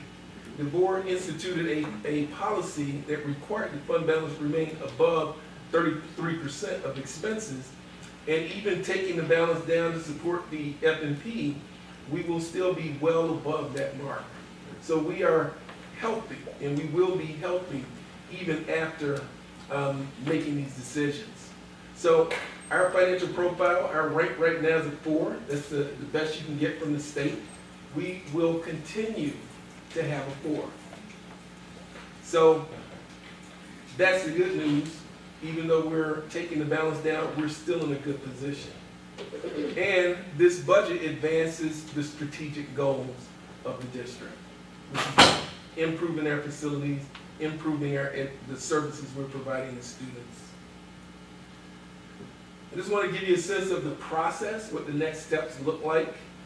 Um, hopefully, if I can get your approval for, for the tentative budget, um, the state requires that it be on display for 30 days, so we're going to do that.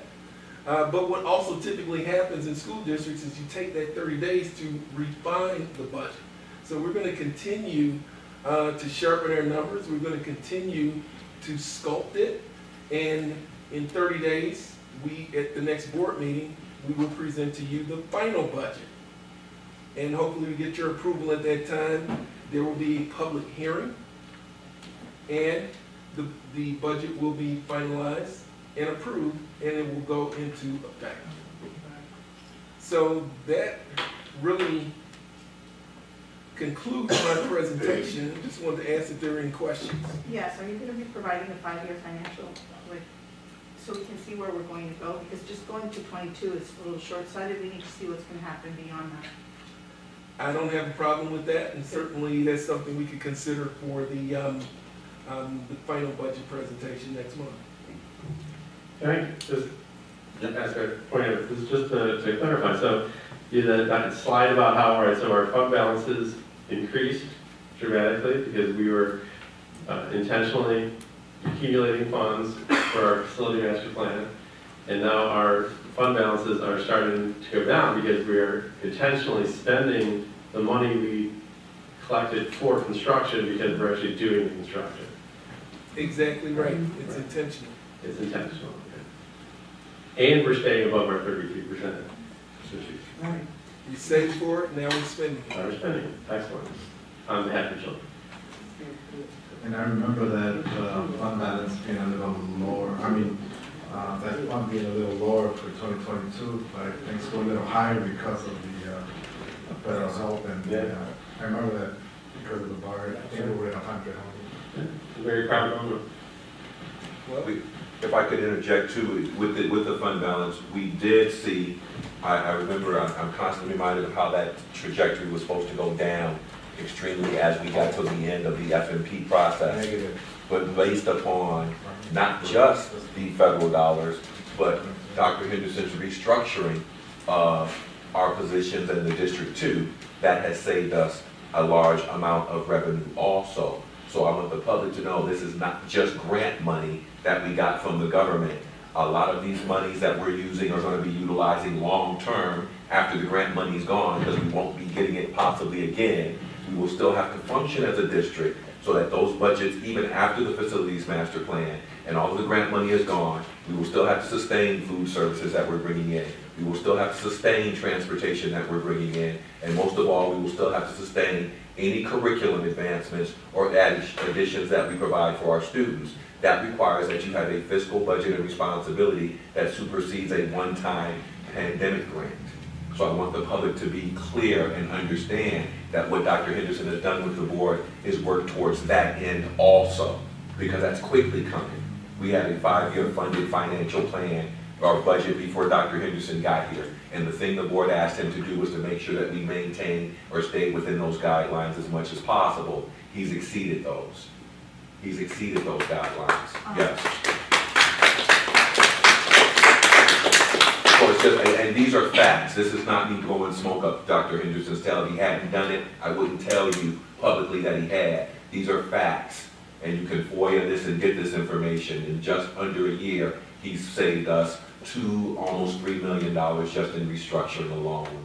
And that has nothing to do with federal money and grant money. Those dollars will be used to provide more curriculum and opportunities for our scholars. Thank you. So a lot of the- those ESSER funds were meant specifically for us to get air filtering, making sure that we had certain pandemic uh, resources. Um, Right now, is any of that money going to be allocated to start putting filtering air filtering, because the Delta variant is incredibly aggressive and it is impacting uh, students. Is there anything in, in the ed- eh, of allocations towards starting to put air filters into the classroom? Since many of the buildings don't have the avail- availability to open their windows, especially when, you know, climate is inclement. Do we have any of that money being allocated to those type of, of, um, things which it was supposed to be? Yes, we're working on that right now, and you'll hear about it in a few minutes. So we're putting air filters in for the teachers and for the students? You'll hear about it in a few minutes in the next. Is that a yes or no? He's about to give the presentation, Ms. Medina. He just said he's gonna tell you in a minute. Thank you, Mr. Moody. Thank you. And, well, I think tonight I need to seek your approval, um, for the tentative budget and, the flight. and, Yeah, that's actually in the consent That's agenda. the Yeah, consent agenda. okay. Mhm, Yep. We got you. all right, thank you. Thank you, sir. Thank you. Now we'll have uh, teaching and learning. Dr. Brown? Yes, sir. Oh, before we move on, can I just ask about, um, the credit card?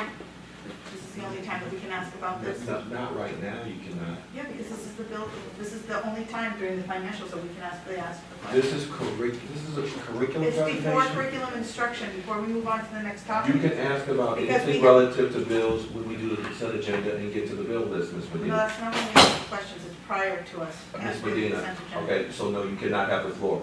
Okay, you can ask your question when we get to the consent agenda, and we have to run on the bill list. If you have anything relative to bills for the district, it's dealt with under the bill list on the consent agenda. We're not at that part of the agenda right now, we're on the That's not what we superintendent's ask, report. we've never asked questions there, so you're going We can to, you're, over, think, we, we mean, usually, we always ask questions now. We're not If he dealing hasn't with. us, if we have, if we have any questions about it. Ms. Medina, Adjourn the meeting. Thank. He hasn't asked us. no. I know he's new, so he doesn't know. This is why I bring it to attention, so we should speak about it. Ms. Medina, Take a break. no. Take a break. Okay, Mr. Brown, you have the floor.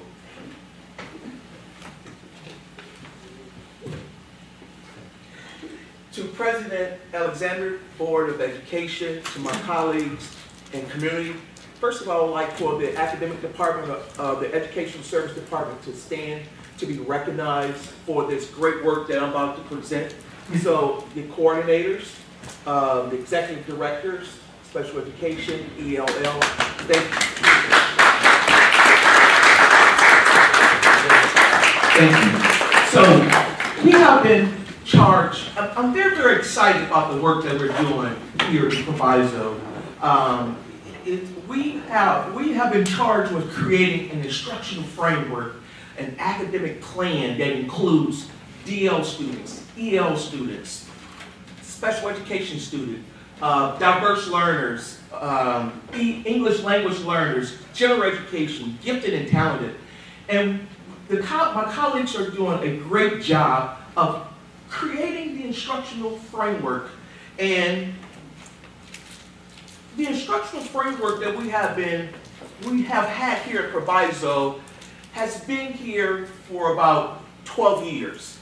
And um, we know the importance of instructional framework, and we have seen glimpses, or we've seen the strategic plan, and we want to make sure that the strategic plan becomes reality, especially in the areas of mathematics and English language arts, and reading, college and career and especially for all of our students, but especially for our students of color who tends to uh, graduate from high school with an achievement gap that lags four years behind white students.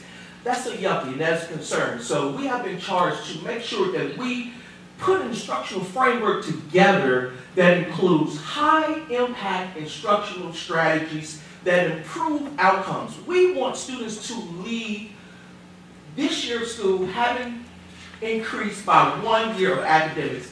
We do not want students to leave and, and have only risen by two months or 60 days, even though they've been in school for 188 days. So that's why we have been intentional to create this, this instructional framework. This is why we have been intentional to not select just any instructional strategies, but proven research strategies that work. I have had the opportunity to share with the board a picture or a graph of the instructional framework that we continue to work on. This is our instructional framework for Proviso. It has been tailored for Proviso Township. An instructional framework, will be short, an instructional framework provides a cohesive, together, structure made up of proven components, but is adaptable to work with varying teaching styles, content areas, and student needs. Here we go. When we lack an instructional framework and we have students at the core, it's disservice. We're not doing what is best for students. We're leaving it up to guessing and operating on luck. And we should not be operating on luck. We should be intentional in our actions. When a school lacks an instructional framework, teachers are left to figure out things on their own. Select among a host of instructional strategies, but may not be strong instructional strategies. So we are being intentional to include in our framework, or indeed provide a township framework, uh, instructional framework, high impact, high leverage instructional strategies. Here is another example, or here is the example, I guess, of the framework.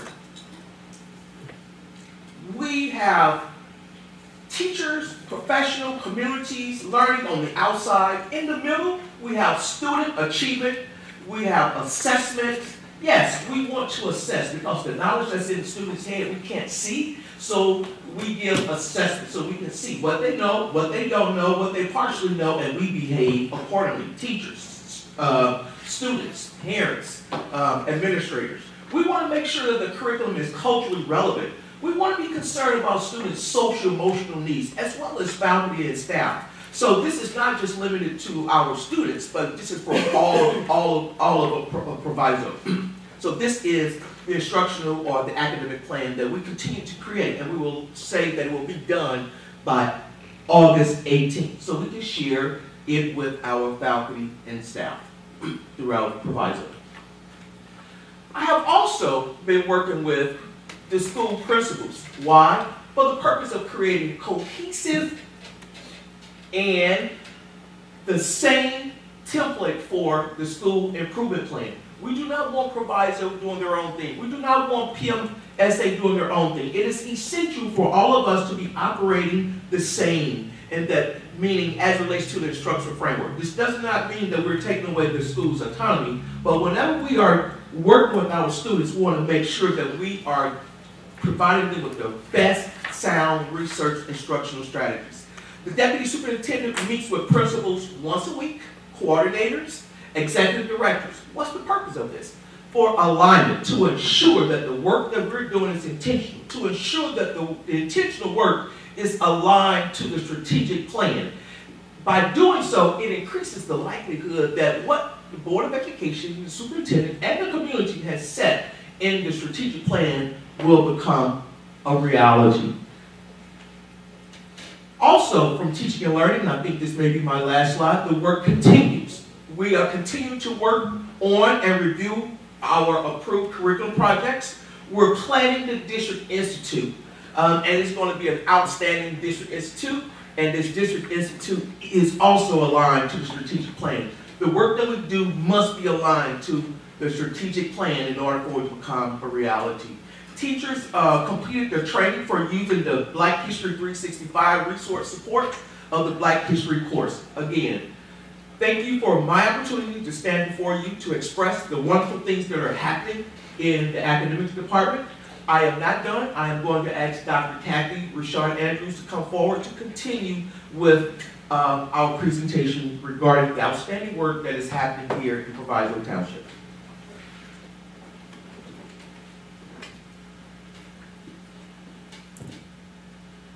Good evening, members of the board. Good evening. Good Dr. Henderson, parents, and community members, as well as my colleagues. I'm Kathy Richard Andrews, and I am the Executive Director of Student Services and Equity. I want to begin by saying that COVID has had a major effect upon our children. The research that I have engaged in has shown that 80% of high school students have said that COVID has had a direct effect upon their mental health.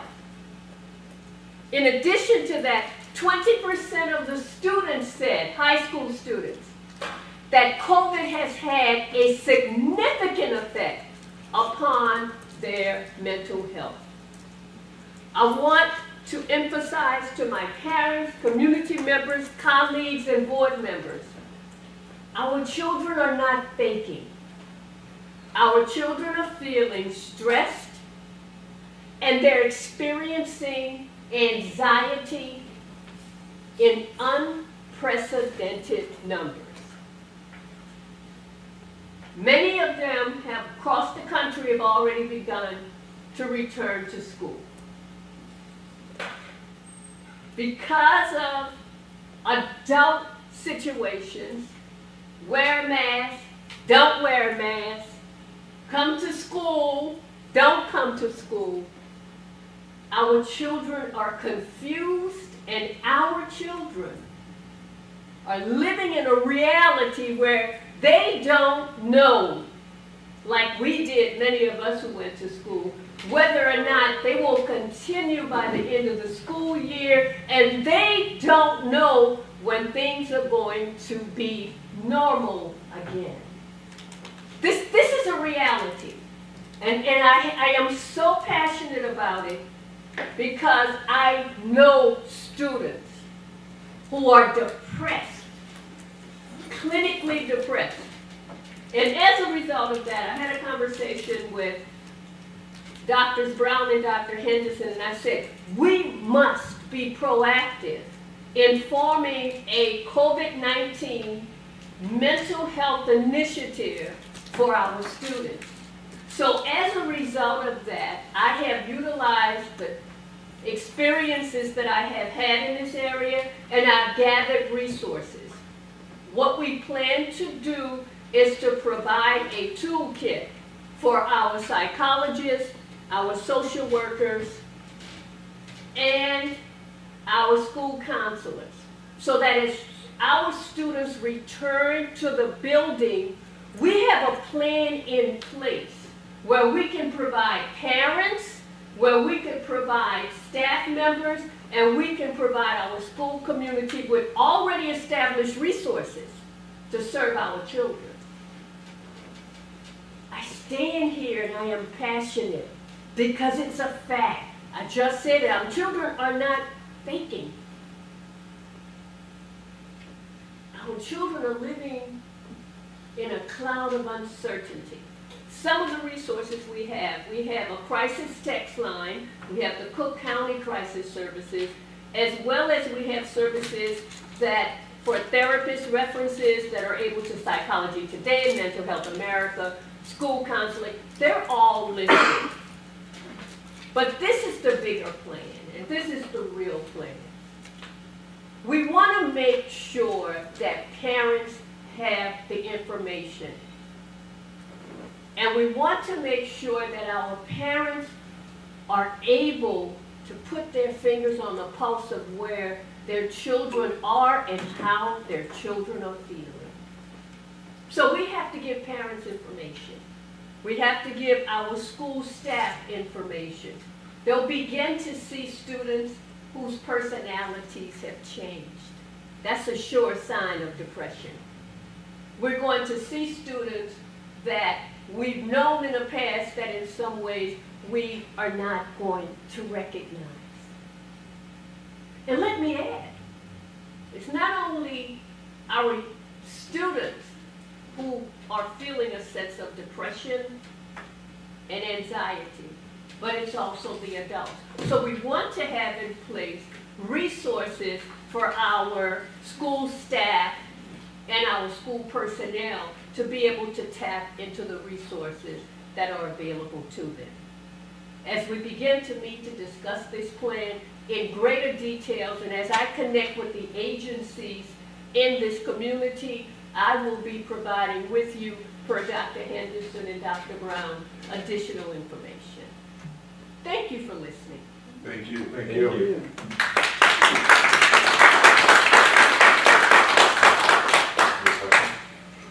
Kind of. Sorry, Dr. Brown. Um, I, I totally agree with you. I think I think collectively, as a nation and a community, we're all feeling like a like trauma. We've all kind of endured and are still enduring like this collective trauma upon everyone. And I, I'm really, really grateful that you're focusing on the children because I, I see it in my kids, I see it in their friends, you know, I see it in my student volunteers. It, it, this has taken a huge toll, um, especially on our kids. And I just had an idea, and I'm sorry it's not a question, but as you're gathering these resources and these, um, the crisis lines and the text lines and, and places, um, that we're focusing that students can turn to, I think it would be really cool if, you know how you make those magnetic calendars? Mm-hmm. If we made that into a magnet and we had one for every locker. So we had it literally at the students' fingertips and they're looking at it several times a day. I, I think something like that would be a really good resource. It would be something where, you know, I think sometimes when you're talking about the levels of anxiety and depression, you know you want to reach out, but it's so hard to do. It is so hard once you're kind of in that pit of despair to reach out and get help. So if we just make it super easy and put that information at the kids' fingertips, literally in their lockers, and make sure that every child has those resources, I think that would be really helpful. So if there's a way to, I, I don't know how much magnets cost, I don't, I'm sorry. But if we could do something like that, just to make sure that the, the resources are always right there in front of their faces where they need them. And I want to make a point to what you're just saying. Many times, our children are not going to talk to us, but they'll go to their friends. And their friends, high school kids, if they have that information, they'll share it with them. That's a great idea because again, sometimes they will not go to an adult, but they do talk to one another. I do know that, you know, we had a lot of these resources already, but one of the things that was done really well last year, and I know it really saved lives, was the fact that there was a flyer that went out to the students and to all the parents last year. And the depression and the anxiety that some of these kids live, it's so real. And Yes, it it's is. so difficult. Yes, it I is. can tell you, I mean, as a, I mean, I know children who were saved by those, those, uh, tele, um, the counseling that they had at Proviso East and Proviso West and the, and the health clinics, the, that counseling, I can't tell you how many lives it saved.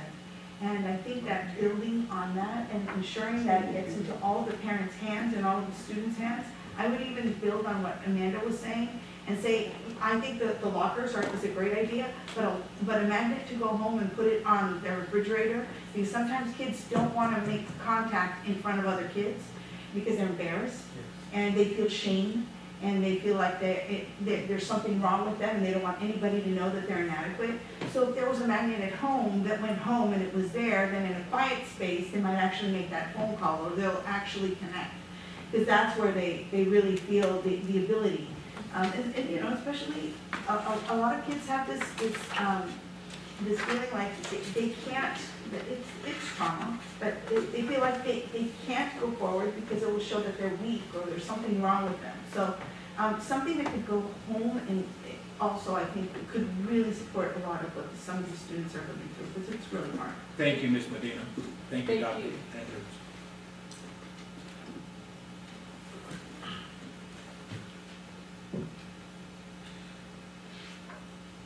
Thank you for those comments.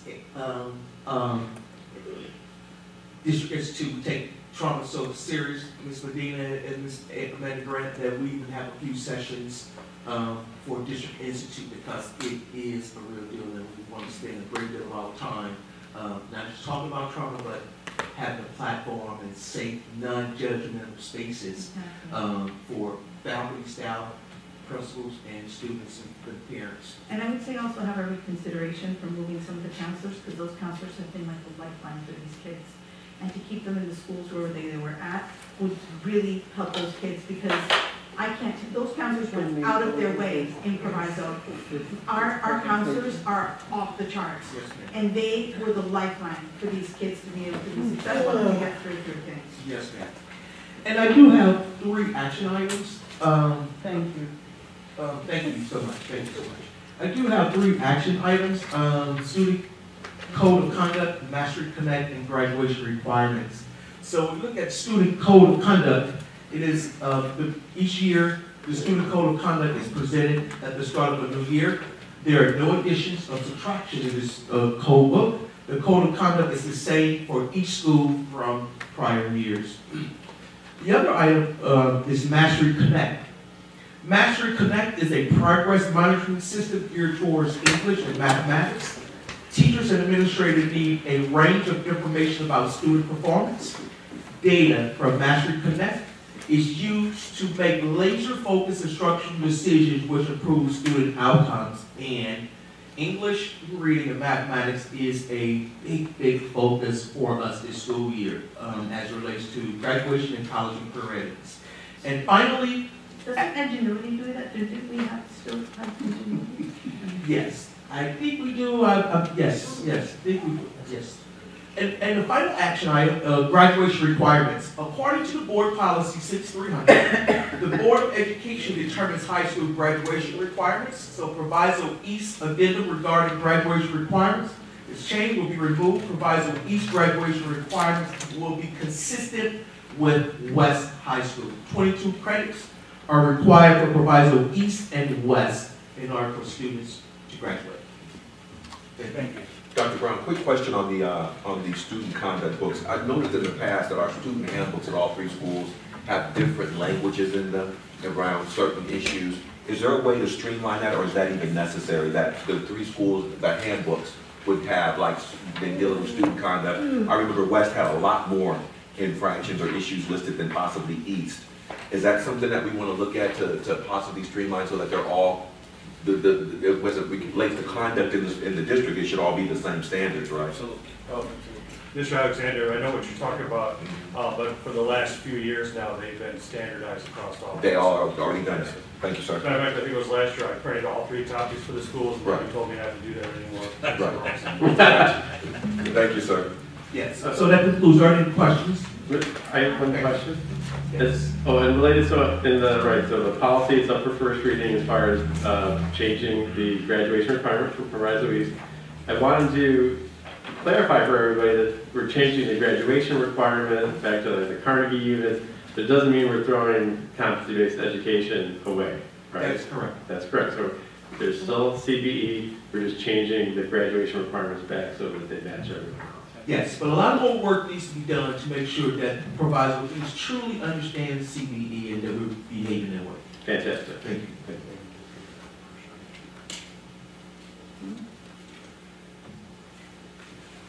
Good evening. Good evening, Good evening.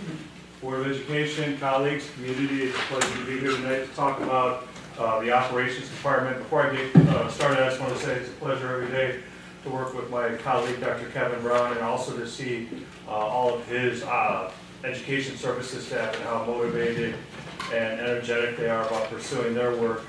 And at the same time, I'm extremely honored and proud to be working with the folks that are in the operations department. If they're here tonight, would you please stand, including you, Mr. Bennett, the technology?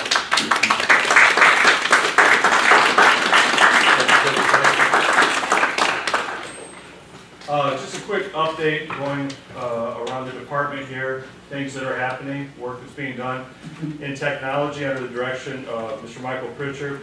Uh, they have been supporting registration in all three buildings. There's a lot of technology that needs to be set up in order to help registration work, including, uh, Mr. Pritchard, uh, working very hard to, uh, uh, find us a new and it looks like better ID card printing solution that we've implemented, the- during registration. They've been distributing laptops to students as they're coming, are they coming in for registration. Uh, getting ready for new staff so that they can make sure that they're set up with the technology that they need. Our, uh, we have a, uh, our nutrition services program is gonna need a new point of sale system, so, uh, they're working to support that. And another thing that's going on is reviewing the contracts that are going through the technology department. There are various kinds of, uh, services and programs to make sure that it's something that we actually need. And reaching out to some of the other stakeholders to make sure if it's something we need to continue, or if not, to go ahead and cancel that in the interest of making sure we're spending our resources, uh, properly. Under nutrition services, and Ms. Stephanie Garza, uh, who's a, a wonderful addition to our staff here in District 209. Uh, she's been working tirelessly to uh, get this program up and running. No small task considering, you know, how quickly we're trying to get it done.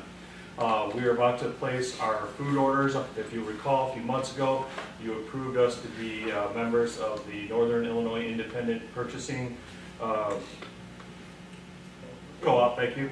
Um, And so uh, the uh, the vendor is GFS, so if you see some bills coming through for GFS, that's the approved vendor for that co-op. We're getting ready to place those orders as well as our dairy and bread orders. Kitchen equipment bid is on the agenda for tonight. Um, You know, working with our consultant, they've identified some additions to the kitchen equipment that uh, will be welcome and help us to prepare uh, high-quality food for our students and make it more appealing. Uh, We also have on the agenda tonight, uh, recommendation for benefits for nutrition services staff for your approval.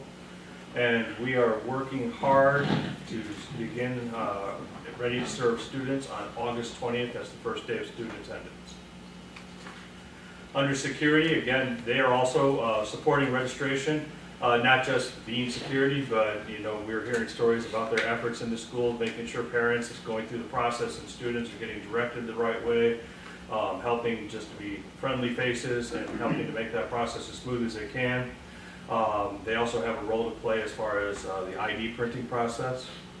They are working to, uh, uh, this is under the direction of Mr. Laverdis Robinson, um, working with the security leads at the other two buildings to finalize our scheduling so that we can accommodate school day coverage, after school, and facility use. So there's a pretty broad band of time throughout the day and throughout the week where our security staff are on hand and, uh, and available. And uh, also um, getting ready to do CPI training for our security staff during the district institute that's coming up on the 18th. Transportation, uh, under the leadership of Mr. Jerry Garrett, uh, we have a- an action item on the agenda tonight. It is a contract addendum with First Student to be able to provide transportation services for the district for the coming school year. Um, This would be the last year that we would be looking to have transportation services as we're uh, skipping down to our bottom bullet point there, continuing our work to develop our SY twenty-three planning to bring transportation in-house. Uh, First Student, however, has, uh, has been working with us very closely. Uh, We've got our regular routing completed and uploaded to Power School, so students are receiving their bus stop, route, and uh, pickup time information. Um, Also, they will be, uh, will be rolling out the First View app again as a reminder, because it's been a couple years with COVID, but it's an app that uh, parents and students can download on their phones. Uh, They can look up their student's bus stop and see when the bus, where the bus is at on a daily basis. And they can even set an alert to tell them when it's like five minutes away from the house, so they can run out the door at the last second and get to the bus stop. Uh, But it helps alleviate a lot of questions, I know a lot of parents uh, really appreciate having that, so we're gonna get ready to roll that out. So how many buses do we actually have now? Uh, Forty-six, I believe it is for the homeschool. We don't own, maybe talk about how many buses do we own, or how many buses will they be running? We own, Pardon me? how many do we own now? Six buses. Um, We have uh, worked with First Student also to pick up where we left off because of COVID with performance tracking and charter scheduling processes that we uh, worked on to make that smooth between both of us so that we can keep track and report to the board our on-time rates for our transportation and also to make sure that we're most efficiently scheduling any charters that are going to First Student. And once again, we are planning for SY twenty-three, uh, and we'll be coming back to you throughout the year here with uh, pieces for your approval about that process. Athletics, under uh, leadership of Mr. Calvin Davis at Proviso East and Mr. Cyrus McGinnis at Proviso West. Uh, Fall sport practices are underway. Uh, We are going to continue our practice we started back in the spring with having mandatory weekly COVID testing for unvaccinated athletes. Um, That's through the Shield Illinois program and our collection partners through that program through our Visit Health. Um, Some news that has just come out from the Illinois High School Association, IHSA. Um, Typically, a student has to have passed five classes or 25 hours worth of classes in the previous semester in order to be initially eligible for the next semester. Because of COVID concerns, the IHSA has uh, reduced that down to three classes or a total of 15 hours. Students are still going to have to be passing five classes every week to maintain weekly eligibility. uh, but they're implementing this just for the initial eligibility piece.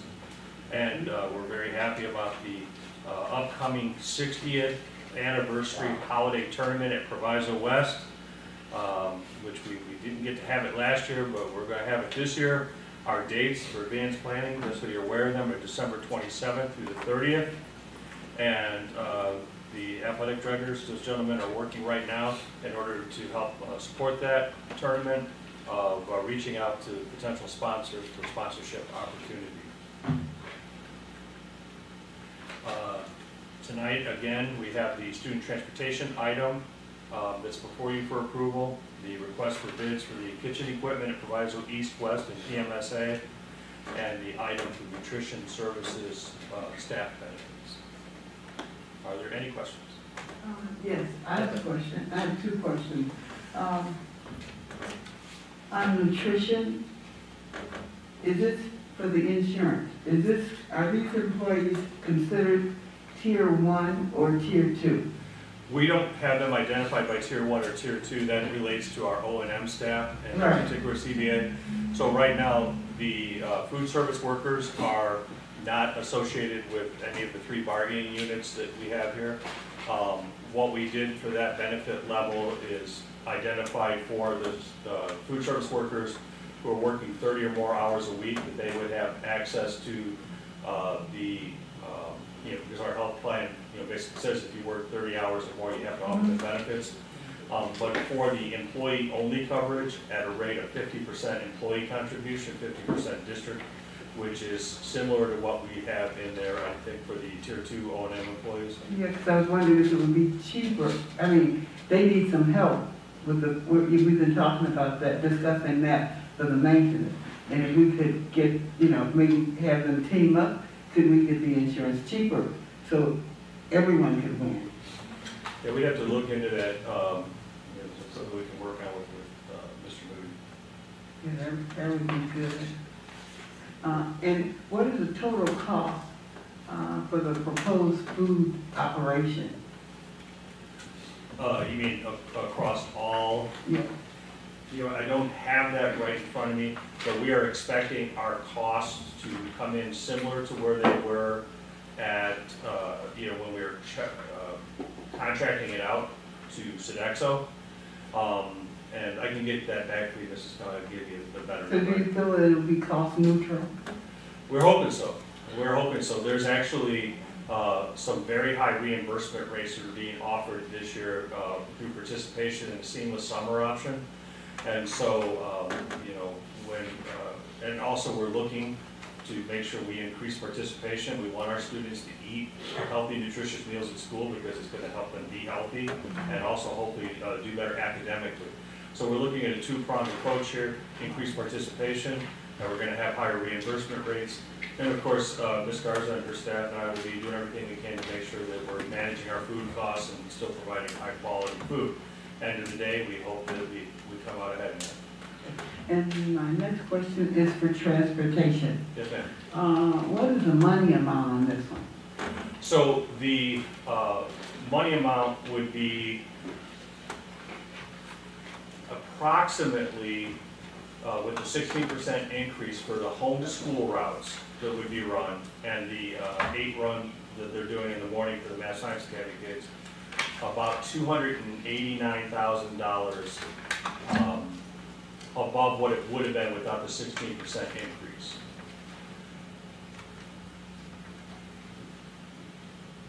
Thank you. Yes, ma'am. Dan, Dan, I got a question. Yes, sir. So in relation to Ms. Kelly's question, um, you're saying it's gonna cost us the same as it used to cost us with Sodexo.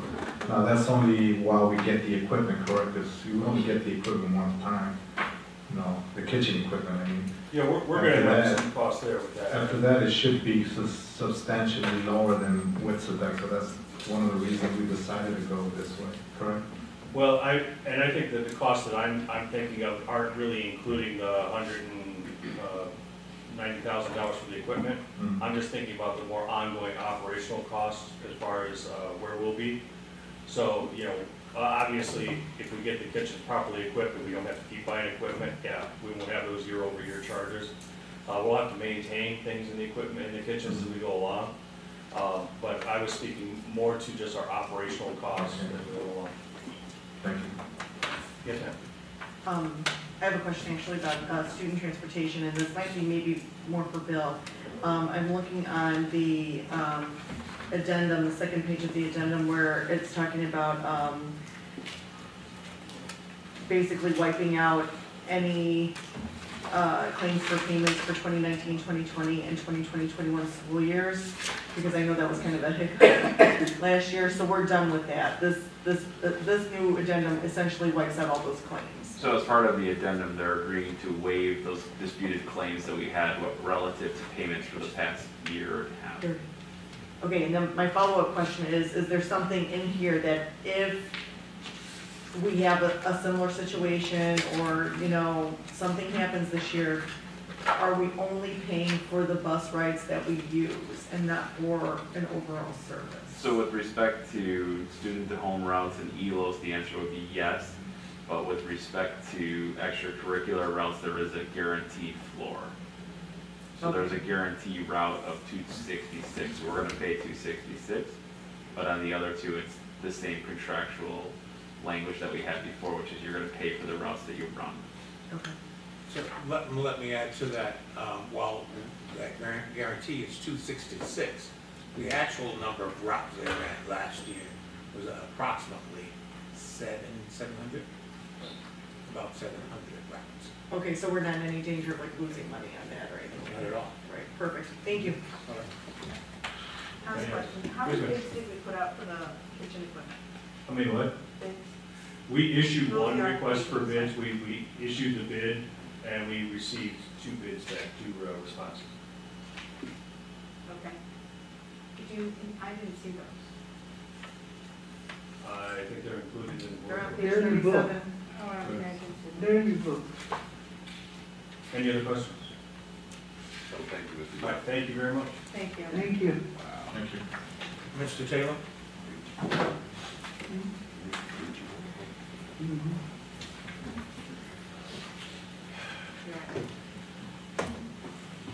evening, Board of Education.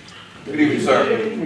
Thank you, thank you for letting me serve the Facilities Department at Proviso Township High School. Um, Ms. sir. Medina? You had a question uh, about MERV filtration. Uh, Yes, Proviso Township High School meets the requirements of the CDC guidelines of filtration within our buildings. Did we get plasmas? Ma'am, Were plasmas in, put into the, into the, plasmas. Okay. The MERV rating filters, correct. We do have those at Madison Science East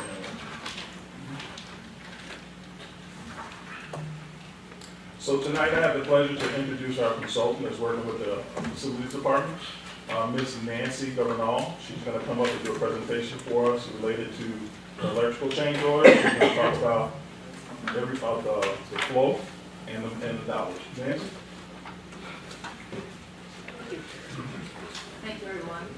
Um, My name is Nancy Carbonali, and I've been on board for about seven weeks. So I'm assisting the facilities department and interfacing with the um, facilities master plan implementation team. So what I want to talk about today, I think this was brought up last month, uh, but there's a finalization of the electrical change order. Um, There was a range of between sixty and eighty thousand dollars for this change order. Um, and I just wanted to run through a few photographs and explain why this was required. So, at the beginning of, uh, this time period, about roughly about six weeks ago, um, it was discovered that there were a lot of, you know, a fair amount of code compliant wiring changes that needed because wiring was combined, I think maybe we discussed this last month, um, but the, the outlets were combined with the lighting distribution from the existing system. Um, when some of the roofs were, um, or the ceilings were demolished, there was a lot of this work exposed that wasn't exposed because of the pre-demolition conditions. Um, so, in a nutshell, um, when I change over to the other, uh, photograph, you can see the, the photograph on the, the top left-hand side, that would be a typical existing condition. On the lower right-hand side, um, you can see that there were a number of layers of ceilings that were demolished, and attached to that ceiling were conduits. So clearly, the conduits had to be taken down when the demolition occurred, and then there were other, not in necessarily this photo, but in other photos, um, areas of conduit that were combined, that had to be taken apart and distributed in a different way. The base contract included new conduit and wiring for the lighting system, but it didn't include money to take care of these things that were unforeseen conditions that were uncovered during the course of construction. So, um, the contractor, the electrical contractor on board, has been working on a time and material basis to take care of all of the issues that were uncovered through this process. Um, so it was a a voluminous amount of work, and for each individual room that had to be completed through the time and material basis, we have uh, documentation including photographs and a work ticket for each location. So this is how we add up to the total amount of uh, seventy-five thousand to complete all of this work. So there is an exhaustive amount of documentation that is available to you, um, and there's logic in terms of the code compliance issue to be able to do this work. So this is the first large change order above twenty-five thousand dollars. Um, the second large change order to be discussed is a skylight structural reinforcement change order. What happened during the course of construction, um, there were a number of skylights on the floor, and you notice in all of the items listed in, or shown in yellow, are the locations of the skylights. There are skylights in the classrooms, and there are skylights in the corridor, so above. Over the years, historically, those have been removed. So you don't, you don't, you no longer have skylights, but you had an opening where the skylight did exist before. When uh, work was proceeding, one of the, the structural decks, the roof decks that is below the surface, even with the ceiling area of the building, actually fell down. So during the course of construction, obviously, that was unsafe, and it needed to be, needed to be explored. Um, The team explored what was going on with these skylight locations, and as shown in the, the photograph on the left, um, this particular skylight was actually reinforced with wood, and it was also wood that was attached to gypsum sidewalls. So it wasn't structurally sound, and if something would have happened or gone onto this area on the roof above, it may have collapsed the skylight infill that was there. So this happened in 12 different locations um, on the third floor. Uh, If you notice on the, the sketch on the uh, right-hand side, there's a, a uh, I-beam, and then there's two pieces of decking that inter, interconnect in there. The area listed in red, you can see the little red dotted area, that is a, a um, structural decking that doesn't actually intersect with the beam. So it was basically floating in air. Um, so the solution for this, um, the architects came up with a solution to include a center beam. The image on the left does not have a center beam, that's existing conditions. The image on the right includes a center beam that adds a certain amount of reinforcement so that this decking is not going to fall through and you won't have any kind of uh, risk when you're up on the roof trying to do work. This all became really important because there were situations where new equipment had to be included on top of the roof um, that intersected with some of these areas. So it kind of happened uh, throughout the third floor. Um, In this case, one of the solutions for design to reinforce the sidewalls of the, the, the roof decking was to have an angle on each one of the existing beams on the right-hand and left-hand side. Um, All skylight locations received a center beam, but only some of the areas needed to be reinforced with an angle at the edges. As a result, um, the amount of the proposal to do this work was estimated at $122,000. Um, and that is not a firm amount at this point. The team is negotiating and reducing the scope of the work because some of this work didn't have to be done in the field. So that, that, that final number is not in yet, um, but, you know, it should be a substantial amount of reduction for this work. So are there any questions? Yeah, I have a question. Okay, um, uh, the wall was thought to be low bearing. Uh, why wasn't it tested and vetted? Ms. Kelly, um, this is the skylight, this isn't the, Then she should, the wall. no, this is the skylight. Oh, the, oh, oh, okay, that's the skylight. This is the skylight.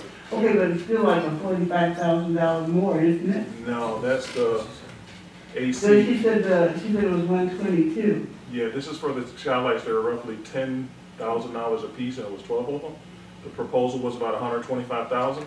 I believe you are referring to, uh, some duct work on the south side of the building that's gonna support RTU. Okay, yeah. Yeah, this is a That's what different I'm- That's what I, I, I thought that was all included. No, ma'am. Okay. But it's still like forty-five thousand dollars more. Yeah, that'll be presented by Perkins and Will. Yeah, Okay. this is just for that. Okay.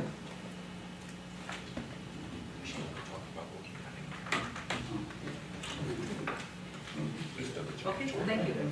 Thank you. Thank you. Mm-hmm. Okay, the next presentation will come from Gilbane, uh, Ms. Michelle McLean.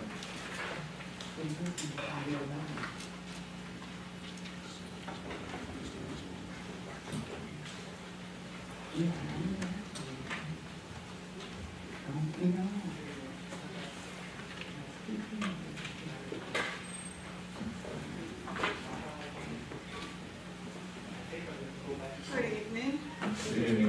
Here is our uh, facilities master plan update from the construction manager. Proviso East Stadium, we are moving right along at the stadium. Uh, Plumbing rough-in at the stadium is in progress for, or in process for the concessions building as part of the stadium. So what the photo is to the right. Uh, Metal deck is installed at the roof again at the concessions building for uh, the stadium. Continuing on with the stadium, uh, the exterior walls of the concession building is totally complete, so you can see that we now have the full structure, and we are working heavily on completing the interior of the building in time for turnover.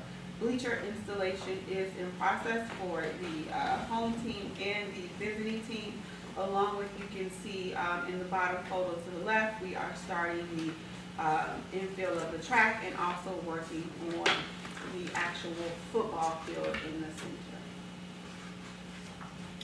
Upcoming items that we need to complete for the stadium, the track surface and striping, the field surface, sidewalks and curbs around the actual uh, stadium, athletic equipment including the goal posts, which are um, set to arrive in the next month. The scoreboard, had a meeting this morning to coordinate that, reached out for programming for the scoreboard, reached out for graphics and things so that we can get those preloaded, and then the parking lot at the stadium as well. So we are well on track um, for our October turnover of the stadium. Over at Proviso West, the HVAC repairs for, or uh, work for the summer. The VUVs over at uh, Proviso West in the classrooms are all installed at this point. Um, and they are all insulated and uh, piping at the unit is in progress, if not already done by the end of this evening. We are actively working to close up the ceilings around um, the VUV, so that is this area that we, we took out of the ceiling. Um, Seventy to eighty percent of those are done, uh, hundred percent of them will be done by tomorrow, the ceilings for the VUVs in the classroom. Uh, we did new work in the, um, corner classrooms, I would call them, and we are ready to drop ceiling tiles in those areas, so you see our above ceiling inspections have been completed, ready to close up the ceilings, this just shows the grid, make sure we got everything out of the ceiling that was, uh, needed to be closed up, to temporary lighting, et cetera, and then we'll go ahead and close up the ceilings in all those classrooms, remove the protection of existing materials, clean the rooms, and work our way out of each of the classrooms over at West. Um, again, at West, the cooling tower installation is in process. The cool- cooling tower has been set, you can see that in the photo. Piping to the cooling tower is in process. Um, we will start up the cooling tower on August the sixteenth. We will start up the VUVs in each of the classrooms between August eleventh and the thirteenth. Um, however, work in the basement and the mechanical rooms are scheduled and still ongoing. It will go nine seven with final test and balance of the entire system by nine thirteen. Moving on, on over to East. Uh, it was mentioned in the previous, uh, report about the skylights, and it's important to note that as we work out the situation with the skylights, it affected the installation of the rooftop units. We couldn't throw those on the roof if we didn't feel that the roof structure was sound. I am happy to report that all of the rooftop units have been delivered for the project, and we are anticipating startup for those units. It's a total of eight, I believe. The startup of the units are occurring this week with the switch over to permanent power occurring by August twentieth, pending ComEd delivery of our new four hundred and eighty volt service over at Proviso, so, a Proviso East, rather.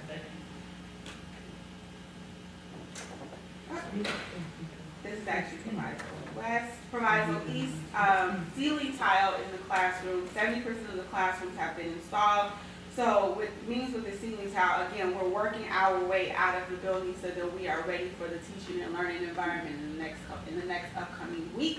Uh, movers are on site as of today, starting to put furniture back in the rooms. The rooms that are highlighted in green are the ones that have, um, above ceiling inspections complete, tile complete. We are working on, uh, small finishes items like the, um, base around the room that needs to be installed and paint touch-ups. Uh, areas in yellow are where our grid is installed, working on final, uh, above ceiling inspections, and we'll drop that ceiling tile accordingly uh, and continue to work our way again out of all of the classrooms on the third floor and corridor. The construction clean is in process, essentially removing all of our temporary protection from light fixtures, from walls, from doors, from boards, et cetera. And we'll be working to uh, complete the final clean end of this week and well into this weekend. It will definitely be a photo finish over at Proviso East just because of the volume of work that we had to complete over at East this summer. Uh, allowances update, this is for West, two hundred fifty-seven thousand allowances as of the end of the month of June, I'm sorry, July rather. hundred and twenty-seven thousand allowances have been used with hundred and twenty-nine thousand cumulatively left over or for Proviso West. For East, uh, three hundred and seventy-eight thousand in allowances for the stadium. At this time, two hundred and eighty-nine thousand has been, I'm sorry, twenty-four thousand has been used with roughly two hundred and eighty-nine thousand remaining rather. And then for Proviso East mechanical upgrades, five hundred and twenty thousand in allowances. We've used roughly hundred and sixty thousand. We have three hundred and fifty thousand and some change left over in allowances to get us through the rest of the program in allowances over at Proviso East. Update on our interns. Uh, they attended White Sox games with us, Gilbane Professionals Group, uh, were some of our mentors that help with our interns. Uh, photo on the left is obviously the game, photo on the right, they attended a rooftop lunch and learn at Office Revolution downtown Chicago to learn more about architecture. One of the students, uh, Mark Robinson, was interested in architecture, uh, interior construction, and learn about corporate furniture dealers, manufacturers, etc. The intern's last day with us unfortunately was August sixth. Uh, we were willing to extend it, but, um, they were eager to get back to school and start to prepare for school. Final presentations were given to Gilbane leadership and their peers last week. Um, at the board's request, we can have, definitely have them come and do their presentations. One of them, uh, Dulce is at Proviso Math and Science, she can come at any time. Mark Robinson unfortunately has transferred out of the district due to a parent relocation to Kentucky. However, I did, uh, record his presentation, so I can share that with the group, um, as you guys see fit. That concludes the presentation. Other questions? Uh, yes, I have a question. I'm, I'm really, really happy, uh, for both of those students. Thank you all so very much. But, um, as you know, uh, we had the opportunity to walk the, um, third floor last week. And as I understand it, and, well, first of all, you know I have grave concern around, um, handing that over to us. Now, um, at that time, you had said August sixteenth is the date that we would be, Correct. okay, so we're good with that. We still are. August sixteenth, I understand is the first day for teachers to be in the building. Uh, we will be ready for that by Sunday, August the fifteenth. Uh, we understand after that time, any work needs to go on, you know, off hours, et cetera, as teachers start to, you know, head to building and students, first day of school, August twentieth, for freshmen and sophomores, right? Very good. Thank you so very much. I have a question. Uh, last month, we talked about minority, um, contractors. And I was just, what, you were supposed to send over a list? I provided the EIP report to, uh, Mr. Taylor. Oh, you did? Economic inclusion plan, my, that's our minority report. I did provide the report. It lists all of, it lists all of our contractors, um, and the, whether that, whether they are minority or woman-owned businesses, because we Mhm. track both. It lists the amount of their contract, um, completed to date. So it's important what they billed to date and where that status is. And so right now, we were at nine point four percent and nine point six percent of our total work billed to date was done by Economic Inclusion Partners for the project. Okay, and, well, okay, I'll have to get that from, uh, Mr. Taylor. Yes, ma'am, I'll share with Dr. Henderson, and then Dr. Henderson will push it off. Okay, And my, my other question is, why are we just using, going with ten percent? Is there a reason? We are, So if- if, if I could speak to that, uh, early on in the process, uh, we talked about a threshold of fifteen percent. And the reason why, because all of the work that we were doing, there's hardly any, if, if any, paving companies, uh, that's black or women owned. So we decided to stick with a number around fifteen percent. We thought that was a decent number, that came to the facilities meeting, that came to the board meeting, and, um, that was acceptable at that time. We've been meeting that about the first two sequences, this one we didn't. I thought we were at like eleven percent, but the last two sequences, we were at like 14 and a half, 13 and a half. so it's important to note that the number I quoted is the work that we billed today. We are still building and filling and working it out, so as long as our contractors meet the requirements, let me rephrase that, as long as they meet the goals that they set forth in their bids, then we will get close to that eleven percent. But the nine point four and nine point six is based off of what we've actually installed today, and we're still working through the program for of. Yeah, because that's really, that's still low. Uh, we, we have a seventy-seven million dollar project going. Understood. So we need to, get some movement. Dr. Henderson, I, I- just a, a quick point, and this is sort of like a rhetorical question, but it just strikes me funny that when we talk about, this is two thousand twenty-one, when we talk about workers, we, we represent African Americans, Hispanics, and women as minorities. Is, does that bother anybody? That we actually talk about groups of people in two thousand twenty-one as less than? And then we say that we don't have enough of. And we, and we practice these phases, but at the same time, these other groups are getting seventy-seven million dollars of these less than people's money. Mm-hmm. I just wanted that to sit in with us. Because I'm so sick of less than, we can't find qualified. In this whole big old fifty states of the United States, we ain't got no black or brown folks that can lay pavement. And I'm not talking to you, sister, please don't think, Ms. LT, I'm not talking to y'all. I understand. I'm talking to the I system. totally understand. I'm talking to the system, y'all just, y'all just work here. We gotta do better, the folks. Listen, I'm not going to no restaurant and they don't tell me what I got to eat on the menu.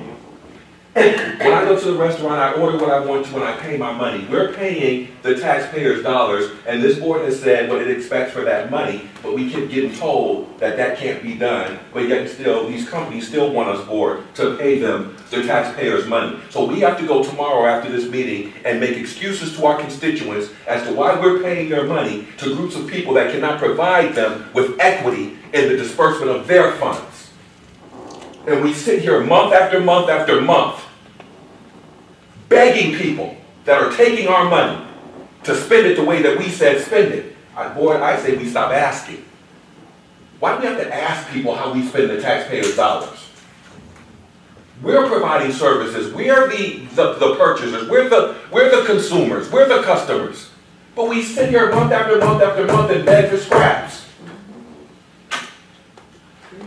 This stuff has to stop. If we're gonna have equity in this district, it has to start with our business as a board. And we have to demand better. Nothing personal against you guys. This is just the system I'm speaking to. And this is the language that we use. But then we'll sit here and say, we want better for our scholars. When as adults, we represent everything that the system tells us to represent. Even in the language we use. In 2021, there are no women out here that are, that, and we're still talking about them as if they're something other than a human being that has a job and a profession and a profession to be able to do something. We're going to sit here and talk about equity, and in our person and in our business dealings, we're not exercising that. Mr. Gleason, I'm going to say it because I will call you and ask whether any board member does. We need to look at our contracts and look at what we're asking for and see if it's legal and then reassess if we want to retain the services of people that cannot provide us the service we're asking for. And I'll say because it's time out for that. We're about to start a new year with high expectations for our students and scholars and administration. Board, we have to have high expectations for how we spend our money. And if we say something as a board, we darn sure better stick to it and hold people accountable moving forward. Or unless we're just gonna continue kicking the can down the road, talking the talk and not walking the walk. I agree, Mr. President. I'm done. Sorry you guys had to get that. We just had a conversation, and I had several conversations with some constituents, and they're like, Mr. Alexander, you guys are just like everybody else. Y'all talk this stuff about this, but y'all sit there every month and I watch y'all, and y'all let them tell us why y'all can't do this and why y'all can't do that, but they still taking our money, aren't they? Yeah, they are. Okay. Okay. It just doesn't make any sense. So please, let's, let's work together to do everything possible to increase the amount of equity equity, not minority, this and that, I understand the lingo, equity in providing services and jobs for everyone, especially that are representative of the population that are spending that money. I agree with you, Mr. President. I mean, month after month, uh, they come to us to approval of the change order, approval of this, more money here, and we say yes, yes, yes, yet, yet they can't respond to us with a yes and, and, and, and get, and get, give us what we want. That's it. That's all, It can't go just one way, it has to be both ways. that's all I'm saying. And I'm not gonna put up with it anymore. Thank you, Mr. President, for just saying the words for me, because it just makes sense. Um, besides that, I got two questions. Um, so I see West has a different type of system for the AC and, uh, East, correct?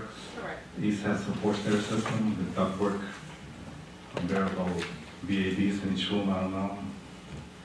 Per room, is that those systems are designed, uh, with these systems, uh, consider for efficiency, high efficiency, and, uh, I see you got four eighty units, so that's efficient, but will they consider for ninety plus efficiency, the units with RTUs or the units bought for West?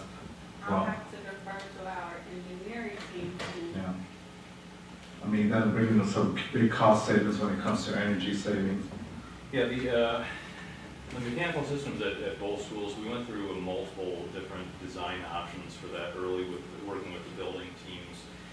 And it really, it- we wanted to try to be as similar as possible with both, with both systems because of the interconnectivity of, the- of materials and, and trading of, of, uh, maintenance. But because of the, the floor-to-floor heights at West, we have really limited space within the ceiling to do any ductwork. So we, we wanted to, we, we started down the path of saying, let's do both the same exact systems. Um, we went with a VRF, we ended up going with a VRF system at, at East with, with, uh, in-ceiling ductwork. And with the, um, the, uh, the VRF style, uh, cabinet unit heater at, uh, vertical cabinet unit at, um, West, because we didn't have enough room to do a ducted system there. But the, the, this, the way that, that, uh, heat and cooling is transferred at both schools is very highly efficient.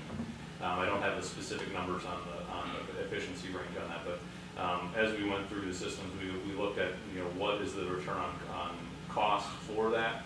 Um, presented that to the, the building teams, uh, presented that through the FMP process. We had a whole matrix that was developed, uh, by the mechanical engineer for that, that weighed out all those, all those approaches, and that was the, the decision that was ultimately made. What was the efficiency rate?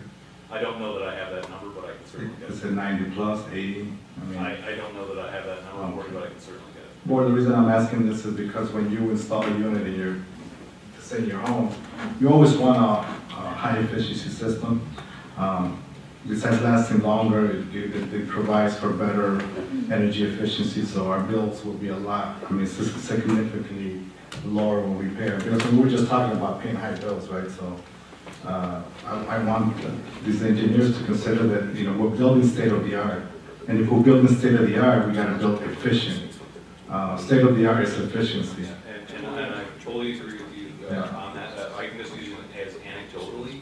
Uh, A similar project where we replaced, uh, you know, fluorescent lights with LEDs.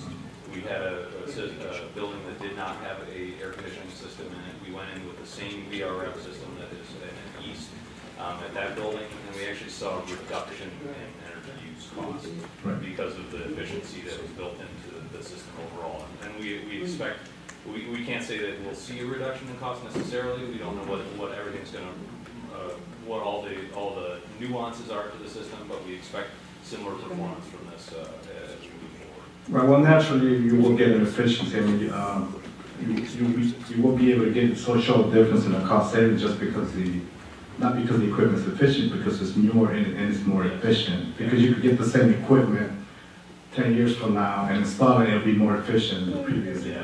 What I mean is, equipment that's designed to be efficient, Yes. ninety plus, And or even above that. I'll, I'll, I'll get you some specifics on that.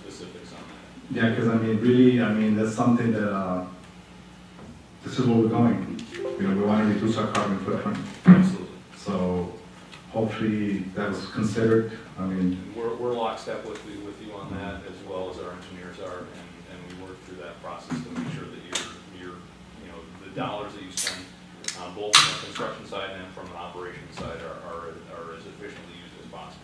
yeah, well, I, I really hope they are efficient. Thank you, sir. Yep, thank you. If I could just add one thing, Michelle mentioned that those units at Proviso East will be started up. They will be started up, but we had a delay in the, in the permitting process with ComEd and Maywood. Those units will be started up, taken back offline and brought back online about four to five business days later. So we don't wanna paint a phony picture here that once we start up, they will be up and running consistently. They will not. The startup will happen, they will be shut back down. A few bu- business days later, they will resume, once the, the main throat electrical is brought in, it will resume and actually give us conditioning on the third floor. Those sites. Are they making sure they got enough power in those transformers from the utility? Yes, sir, ComEd and Alar Engineering, all that work. Um, in my opinion, ComEd is fantastic. Um, I heard of, I never heard of a village ask uh, a utility company for their electrical license. Uh, And that's what Maywood did for uh, ComEd, and ComEd is our utility. Uh, They do a fantastic job, and they was directly in line with Alar Engineering. They was actually uh, really impressed with the design work from Alar Engineering related to the transformers. Okay, so all the rooms at east and west on the third floors will be ready by August sixteenth for, uh, for student teaching and learning. Yes, but, uh, at West, they will have AC by August twentieth. At East, it will follow pending the completion of the service from ComEd so that we can properly start up all the units. But all the ceilings and everything, always ceilings and all the ceilings Correct. will be ready for teaching and learning. Correct, yes. Thank you. Ms. Kelly, so ComEd's gotta go with their trucks and hook up the wire to the utility. Yes, but I want to know if the kids can get in there. Oh, yeah, yeah, We're be gonna- outside. We're gonna be in the store. Yeah. So, so for West, we have August twentieth and East is pending. So it's pending, pending, does that mean that it could be three weeks from now? Pending could mean a long period of time. No, it, it, we will get the schedule from ComEd. ComEd received the permit yesterday from the village of Maywood. Um, we will receive the schedule from ComEd tomorrow. We'll share it with Dr. Henderson, and I'm sure he will share it with the Board of Education. But it is the goal, ComEd understands that the school is really pushing them to really give us power before the twentieth. But with this short time frame, we don't really believe it's should be accomplished. But ComEd is hiring additional contractors to actually help them bring in the main growth until our ATO at Proviso East High Thank you, guys. Any other questions? Thank you, thank you, Michelle. Thank you, thank you, guys.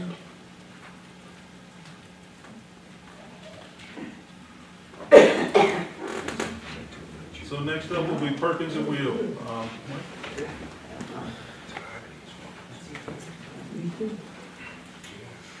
Good evening. Good evening. Pleased to give an update on where we sit on the design and uh, some construction items here. As you see, uh, this is a little bit an older photo of the, uh, the main bleachers at Proviso East uh, that are going in. There's been quite a bit of work that's happening on those um, over the last few days. Even today, we saw a lot of work going on out, out there. Um, Great to see um, all that work proceeding. Um, We will go through the sequence three project schedule, just seeing where we are today. Um, As was mentioned, we'll have, we'll touch on, you know, uh, the uh, quick pace of construction out. Uh, It brings a few things up that we'll need to talk about. Uh, We'll talk through the uh, Proviso East uh, rooftop unit bearing issue that has been come up, came up recently. We'll go through the sequence for the occupancy of the sequence to work. Today, we had a meeting with the Regional Office of Education on site at both east and west, walking them through the site so that they understood where we sat on there and uh, our process to get full occupancy for those uh, facilities. Um, Then the East Stadium Grandstand, uh, some requested images for that, and some discussion on the west tunnel um, to the auto shop. So as we said, this gray line here may be a little bit further back uh, towards the, towards the end of summer break, uh, but we are in this, uh, this summer break period where we had a uh, stall in the design process in order to meet the, uh, the demands of construction here. Uh, But we anticipate uh, as construction starts to wane down, we will start back up with the sequence three design, looking at all the remaining allowances as well as all the remaining contingency dollars that are coming back to the project and balancing out the rest of the se- the sequence three um, with the, the, uh, the uh, design development process beginning at that point, understanding where we sit uh, financially and uh, anything that can be added to that project, and bidding that project uh, close to the end of the year here. Any overall questions on the, uh, the sequence three design schedule? Now, it, it does show that there is a, a uh, flood control design portion of the schedule here. Um, This was completed and work uh, was, was uh, purchased through that. Some of that work has been installed, some of that work is still waiting on acquisition of materials due to delays uh, in, um, just in the, in acquisition of materials due to the COVID uh, issues out there as well. Um, And will be installed when, when that gets on site. So sequence three, does that include, there was discussion of, here, the Proviso West bathrooms? Yeah, the, the, uh, the scope, I think at the last board meeting, we went through the scope of the plumbing for sequence three at both east and west. Right. That's included in this. Right. Um, as well as some improve, the improvements to the, uh, the cafeterias, uh, that was discussed. Um, we, we have some additional engineering that, is- that will be required, uh, for the, uh, some of the cafeteria equipment, uh, looking at some other cafeteria improvements as well. Um, and then, uh, there's some other projects. Science classrooms, I'm sorry, science classrooms, uh, biology science classrooms at Proviso East. There was, I don't know if it was the majority of the board, but there was some interest in the board getting some information about the feasibility of expanding the work on the Proviso West toilets. Um, that maybe there was some extra money that could be available for that. I know that was, you know, President Alexander talking about it, I was talking about it, and asked a couple questions. I was wondering if there's been any discussion or looking into expanding that. We haven't discussed it generally, we've been focused, I think, I think most, most of the effort has been focused on, uh, laser focused on getting the, the uh, sequence two work done. Um, but certainly if there is, you know, uh, a a reallocation of funds within sequence three, or uh, additional funds brought in, or looking at the balance of funds that are coming out of sequence two into sequence three, if there's an opportunity to do additional plumbing work, we'd certainly uh, like to, like to take advantage of that, um, since you'll get some more uh, benefits from uh, doing that work um, simultaneously with the other work that's Right. already out there. Um, uh, we do see, uh, we, we went through, uh, the original process of, of looking at the, the overall plumbing scope. Uh, we, we took a look at the entire building, so we've done a lot of, of legwork with that already. Um, so this, the scope that we had identified in the last board meeting was really looking at what, what can fit into the funds that were available for that, that allocation at that time. Right, I understand that. Where's the scope work that you did I'm on sorry? the plumbing? We discussed the three million at East and three million at West Yes. last month, and we wanted to know what the remedy was, or what the professional, uh, advice moving forward, because we understood that that would take care of the main plumbing, but we would still have problems down the line. So what was the remedy with that? What's the plan? Considering uh, that the systems over at Proviso East and Proviso West, they're operational as we speak. Uh, We did have some stagnant water with some discoloration in it. Uh, We were flushing those systems again like we did last year. At this time, we're going to rethink that process and see if we want to bring that back to Dr. Henderson for consideration. But uh, we're not moving forward with that project as of right now. If it pleases the board, I would like to, and, and Doc, if it pleases the board, that we not spend three million dollars at either of those schools on plumbing with the risk of having groundwater and toilets that don't flush until there is an extensive presentation to this board that makes it financially feasible for us to do so. We need to have a timeline, if that's gonna happen, to when we can correct that other problem. Because as I mentioned at the last board meeting, nobody spends three million dollars for plumbing and can explain to constituents all of this intricacy of what it is that we're doing and how that makes sense. It's just not gonna happen. So we need to really either hold off on that altogether until we can make a significant, we can't have groundwater and just say we spent three million dollars. Can't happen. We can't have non-flushing toilets and we just spent three million dollars. I would rather us as a board make the decision to go into council, Dr. Henderson, you work it out, present it to us. It may be more feasible for us to hold off altogether and save that money until we can, or at least give us a price thirty days later that we asked for last month as to how much it would cost to make sure that those things don't happen. Or if that's even feasible, I don't know. We just asked the question thirty months or, or thirty days ago, and I'm not getting an answer other than we're moving forward, moving forward with. Mr. President, I, that's a great idea. I suggest value engineering. I mean, get your pens and pencils and just, you know, you're in the design stage right now, right? Get a little value engineering in there. Maybe we could get this accomplished. Maybe it won't be three million, a little more, but we want all this corrected.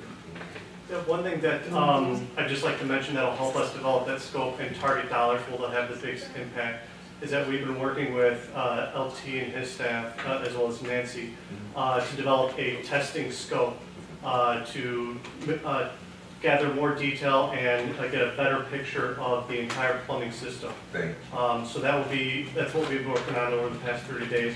Um, We will be reviewing that with LT uh, and get his thoughts on the matter and be sending it out for proposals to three different testing agencies.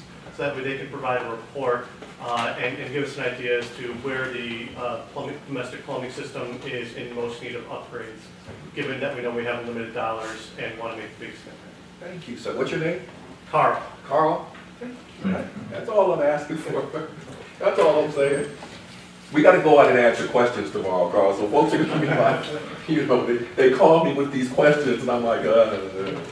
Well, thank you for Carl for. uh, Yes, thank you, Carl. That's, that's all, that's all I'm asking. Yeah, please value engineer those, uh, not only the, the, the design, but value engineer those time and materials. I was looking at your cost per electrician. I mean, I know they're eighty-five dollars an hour right now plus, plus overtime, but, you know, you guys are charging us at least twenty-five percent on top of that instead of, you know, the architectural fee of eight to ten percent.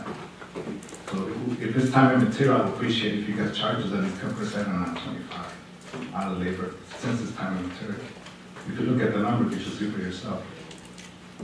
And I guess, I guess I would like to re-ask the question that I That's asked kinda hard. last month, where you know, we took four and a half, we had taken four and a half million dollars, put it into the capital fund, and then we took it back out. And I would like to know if it's, if we put that four and a half million back in, would that help get toilets done at Proviso West? I would love to know. I think that's what he's gonna work on. That's what I just asked, it's, it's the same thing. So yeah. that's the same thing, we just asked the same question. That, we, we need to see how much, what's gonna be the best input bang for the buck, is Sam's technical word for calling it, that's what we need. Okay. So then we can make a decision, an educated decision with all that information. If that's the case, then we've got it. But if not, we really wanna move forward, knowing that we're gonna have possible groundwater, not flushing toilets. So yeah, hopefully when we get that from Carl, we Yes, can make an educated decision. All right. So should, your brain should keep that in mind, we're doing time and material here and twenty-five percent over whatever, I mean, it's, it's, it's a lot.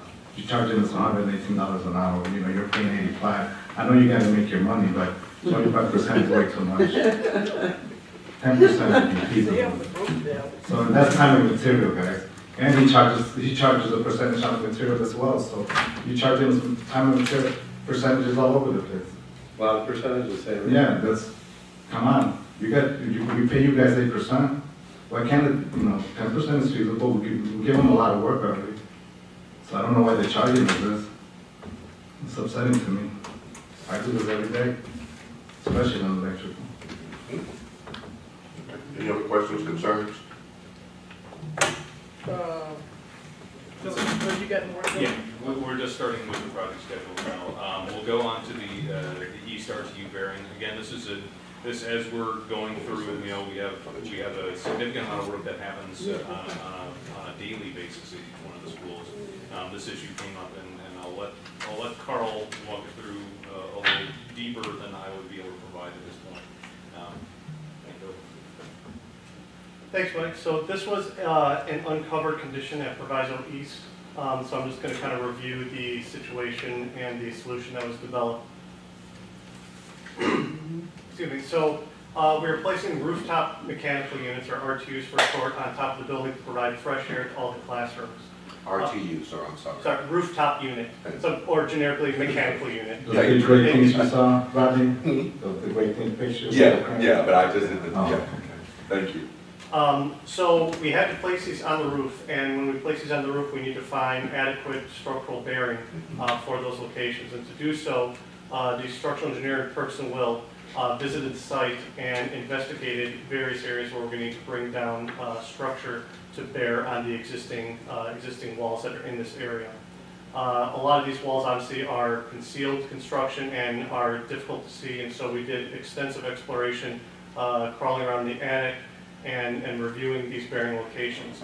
Uh, Unfortunately, in this one location, despite our best efforts during design to investigate it, uh, when construction began, we found that there was uh, wood frame uh, corridor wall instead of uh, load-bearing multi-wide masonry. Multi-wide just means there's multiple layers of masonry stacked together.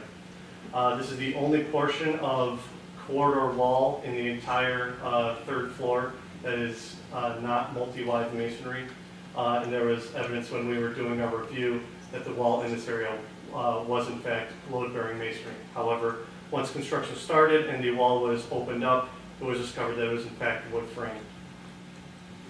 Uh, As a result, we had to find an alternate, excuse me, an alternative location for the rooftop unit to sit uh, uh, that would be structurally supportive of that. So this is just a little diagram demonstrating a few different locations we considered. Um, Just kind of quickly go through, kind of the larger purple area that you see in the center is over the auditorium. We didn't want to consider that because obviously the auditorium, you have high floor-to-ceiling heights that require scaffolding and be incredibly uh, cost prohibitive to place the unit over that uh, portion room. Uh, In the yellow area, which is where you have a number of science rooms uh, on the third floor, there's a lot of uh, mechanical exhaust. And per the mechanical code, where we bring our fresh air intake needs to be separated by a certain distance from where you're exhausting fumes. So that area was unable to, uh, made to be worked. The red area that you see, the original location, is where we encountered the wood framing and therefore it's not a suitable bearing location. And then the kind of the green or aqua um, area that you see uh, near the lower left-hand image had existing roof structures uh, that would conflict with putting that uh, rooftop unit there. So the blue box you see there was found to be the only suitable location uh, for this rooftop unit. So even if we were to begin this process uh, anew from the very beginning, and we had this information that we discovered during construction, this still would have been the final location for this rooftop unit. So when we were considering solutions here, and you can see the solution on the left here, which was to simply move the rooftop unit uh, to the north about 50 feet, and then reconnect to the original penetration location of the roof with exterior, uh, additional exterior ductwork. Uh, We thought that this solution had a number of different advantages over uh, some other possible considerations. Uh, So I'll just kind of run through this list on the right here. Uh, We did explore the idea of trying to reinforce uh, or extend over the, uh, the wood frame walls with some larger pieces of steel. And we got some initial estimates from Gilbane, and those costs started to begin in excess of $65,000.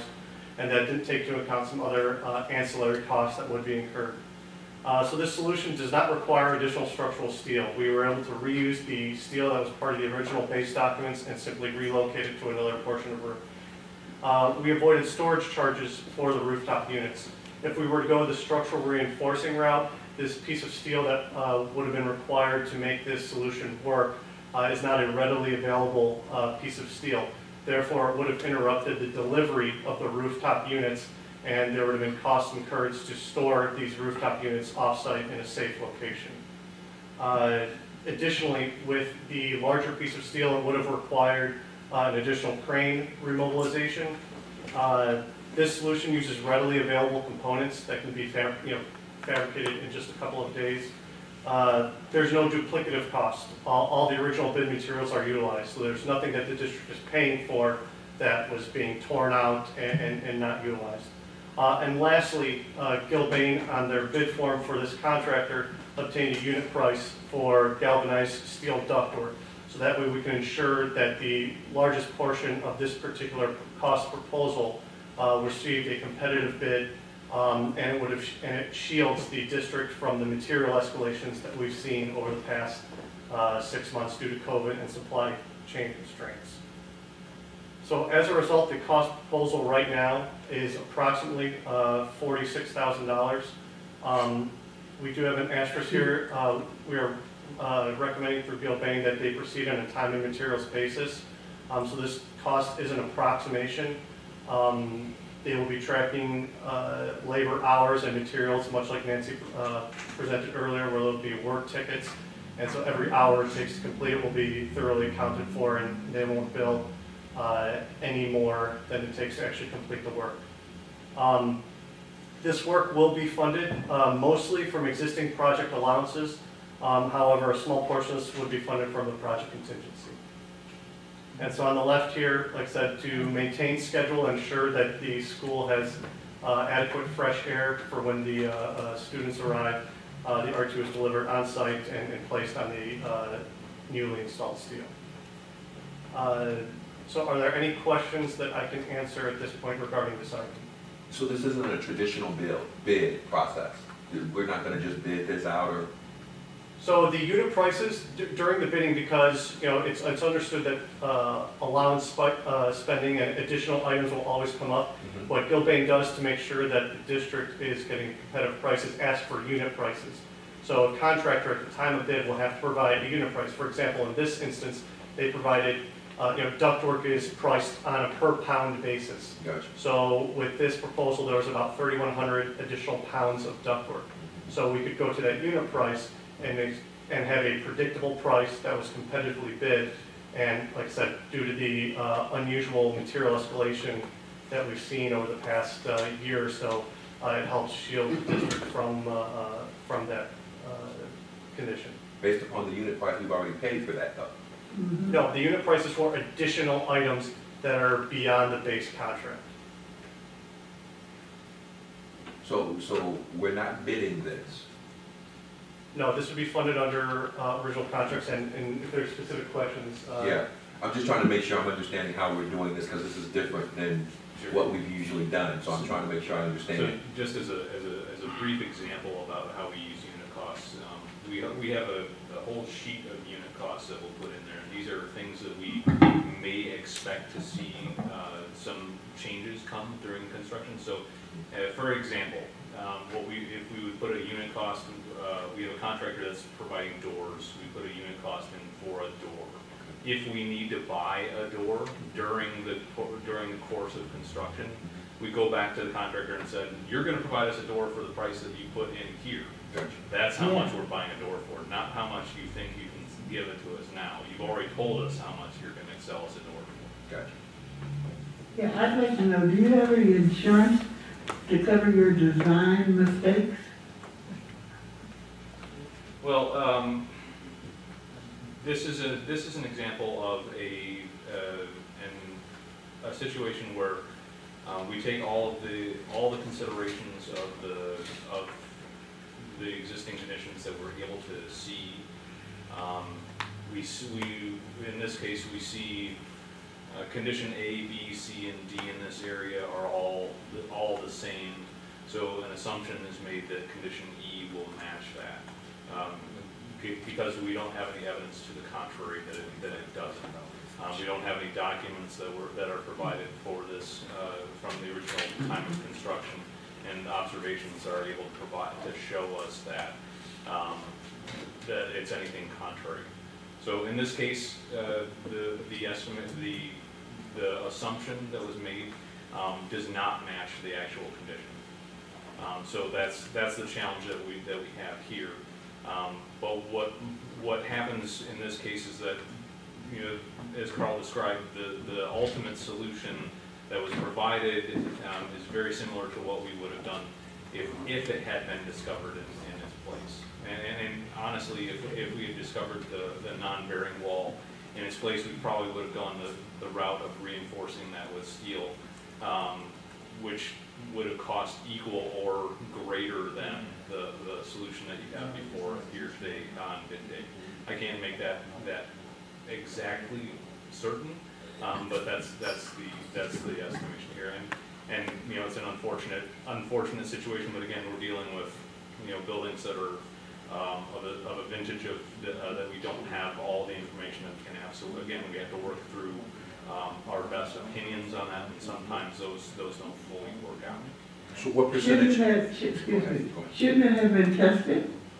Um, again, as I said, it, it, as, as, as we look at conditions, we, we make our best professional estimate on what, what that may be. Um, this is similar to, you know, similar to other, other locations where we're, where we're correct. In this one, in this instance, um, it ended up being something different than it was. And, and in hindsight, additional in- investigation may have been made. Um, but again, we, we, uh, we, we always have to cut off the point at which we're, we're making significant investigation into, into things in the building. Um, if we do, if we have a reasonable level of confidence in what, might- what the actual, uh, actual situation might be. Um, because we could, that, that ends up spending more district money up front that, that may not be necessary, or more time up front that may not be necessary. So tho- those are all professional judgment calls, and sometimes, um, sometimes it goes in a, different direction. That's why some insurance should help with it.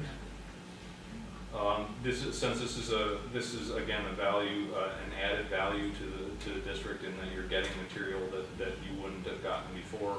Um, it's not a, it's not a a, um, anything that would fall under, we're, i- i- if it was something in which we were tearing out something that, that, that had been previously installed in order to deal with that, then we would be, then we would be looking at that as a, as an issue, um, where we'd be talking to, but in this case, we're able to use the, the material that was purchased and the, the installation that was done. Um, it's just something, in order to make the existing conditions work, we have to add, uh, something to that. So how much will this cost out of the contingency fund for us? Um, this comes out of, out of uh, allowance and small, a small amount from the three point four million dollars in contingency that was available to the project. So some of this will be coming out of the contractor's allowance, some, some of it will be coming out of the contingency. But you don't know how much of The, the, the- yeah, the the exact allocation will be managed by Gilbane as they hold all the contracts with the subcontractors. So it depends on the size of the uh, contractor's uh, allowance. Um, Just based on uh, a, a a quick look, there is substantial money left for that particular contract. Uh, However, it is anticipated that there would be something uh, possibly beyond the allowance that's already built into that contract. uh, you know, Gilbane assigns different allowance values to the individual contractors.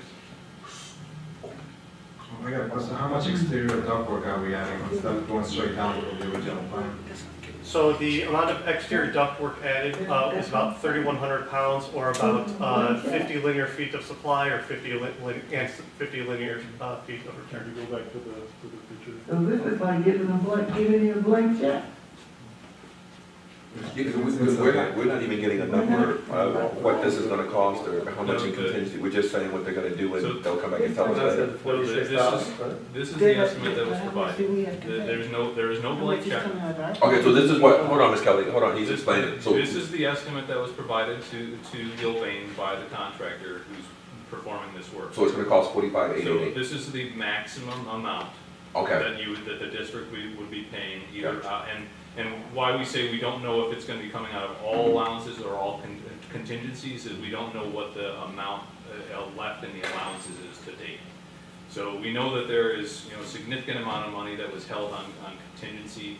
Gilbane's controlling the, the allowances here, but as it is on a time, recommended to proceed on a time and material basis, the number that you see, the forty-five eight eight eight, that's the maximum that the district would, would be. Board members, the only reason I asked for how many linear feet of ductwork he's using, because, because of that, we're gonna lose efficiency, so our bills will be greater now from then on, because of the, the, the original design didn't work. Fifty feet is a lot, even if it's insulated, so we are gonna use, lose a lot of, you know, we're gonna lose the efficiency of the actual RTU. And, and moving forward, have we assessed, is West gonna have the same problems, and what about when we begin to do other floors?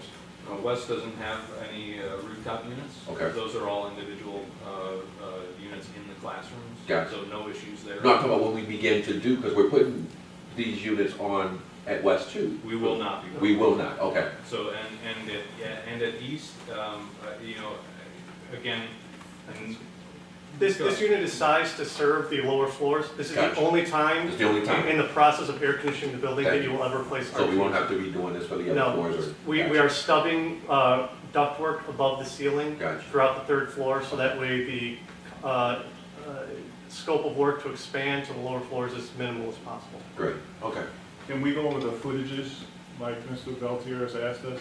Is it forty feet, is it fifty feet? How, how, how long is it? Right, so you see uh, two, uh, you know, in the red here, this is the uh, return air ductwork and the supply air ductwork. Um, It's approximately 55 feet for the supply and slightly less than 50 feet for the return. Yes, sir. And the, the engineer has, has, uh, uh, you know, sized this ductwork, uh, so, that- and it's insulated, so that way it still is adequate to meet all the, uh, all the loads. I can certainly get some information on them if there's any impact to the efficiency of the unit. I mean, I'm sure it is, you got hundred feet of, you know, fifty of supply and fifty of return, even if it's insulated, you're gonna lose something versus just going straight down in the original design. I just think, I mean, we know when we, when we first hired, uh, um, Perkins and Will, you guys knew that this was an old building, and you knew you were gonna get into these issues here, but I, I'm looking at it, it's just too many now. You know, it's, it's just too many.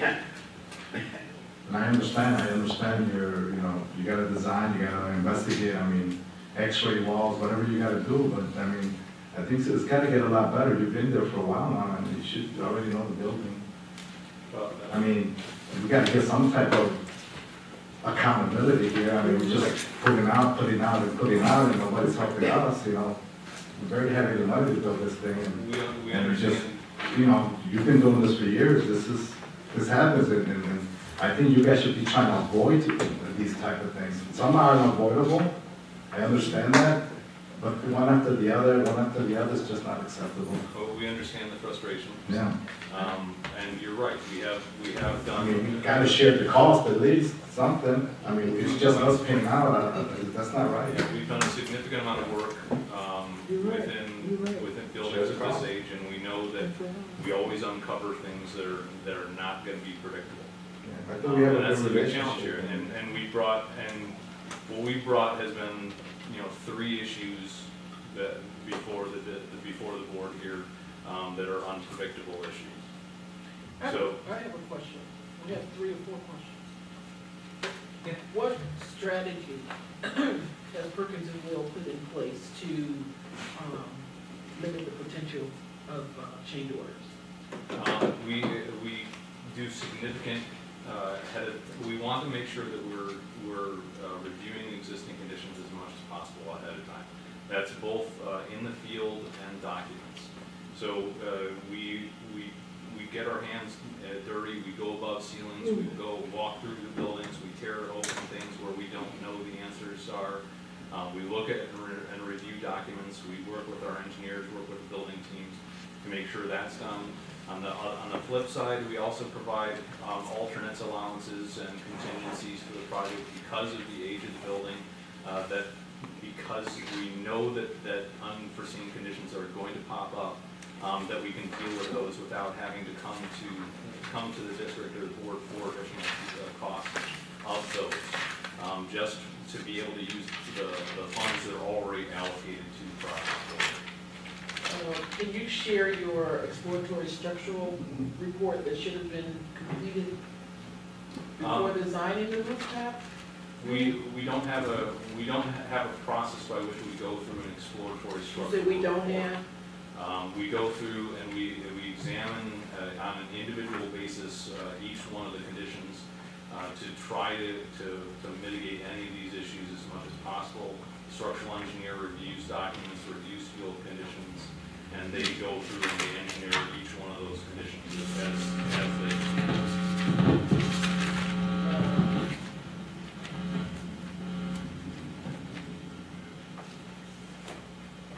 So the structural engineer that was hired by Perkins and Will, Yes. what specialty does he or she, because I don't know if it's a man or woman, uh, what do, what do they specialize in? Uh, The structural engineers that we work with, we work with on a number of uh, projects. They work on anything from uh, tall tower uh, structures to uh, K-12 buildings. Um, The team that we work, that we're working with here, we've worked with extensively on K-12 buildings, including buildings of this, uh, of this uh, vintage. And um, they've done, you know, extensive work within the district on this project um, to date as well. So Perkins and Will, uh, uh, and I just want to be sure, Dr. Henderson is our, our architect of record, is that correct? Perkins and Will? Yes, that's correct. And what do we pay Perkins and Will a month? Mr. For contract. You know? Before you get that answer, um, how many senior engineers do you have on site when doing these, um, investigations, just tell us that? Are they all senior? Do you have one at least? How many, do you at least have several senior engineers, especially for this building out here? Or is, are they just, uh, subordinates to the senior engineer?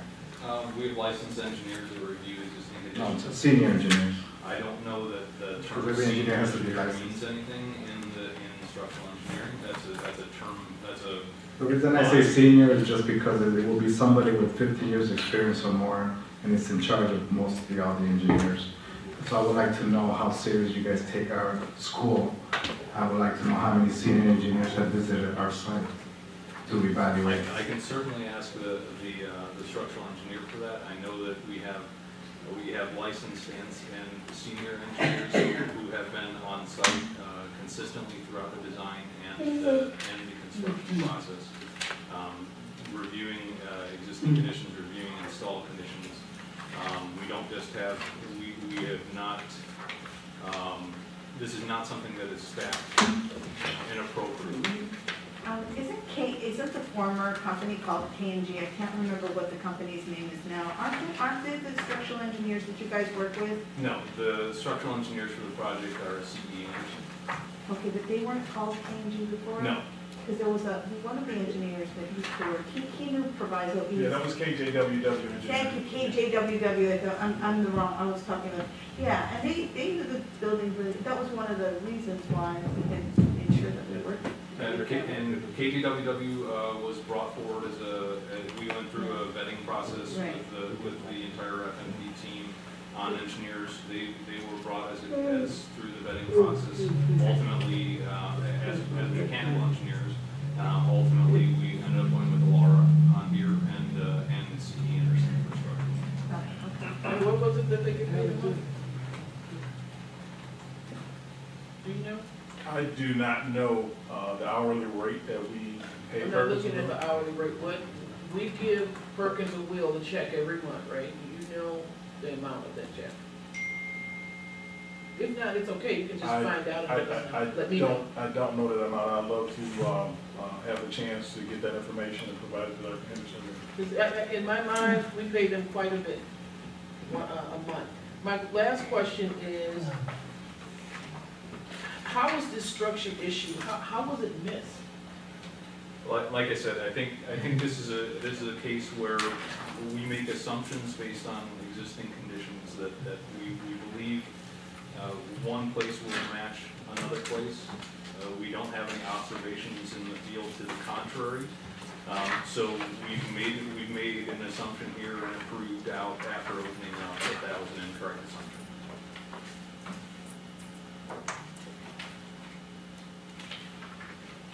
You guys Yeah. have Any other about questions?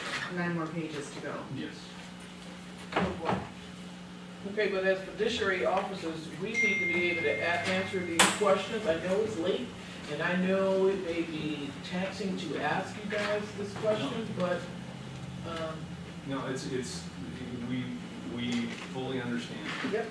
um, The, the need for, for accountability on, on this, and, uh, that's, that's why we bring as much information. We want to be as transparent about the process. We're not making excuses on, on what, what uh, transpires, um, when opening up the building here. Um, But, um, you know, for, for the sake of this, if there's any other questions on that, we'll be happy to answer them, um, as thoroughly as, as we can. Um, getting into the, the sequence two completion, we are wrapping up the sequence two work, just as an understanding.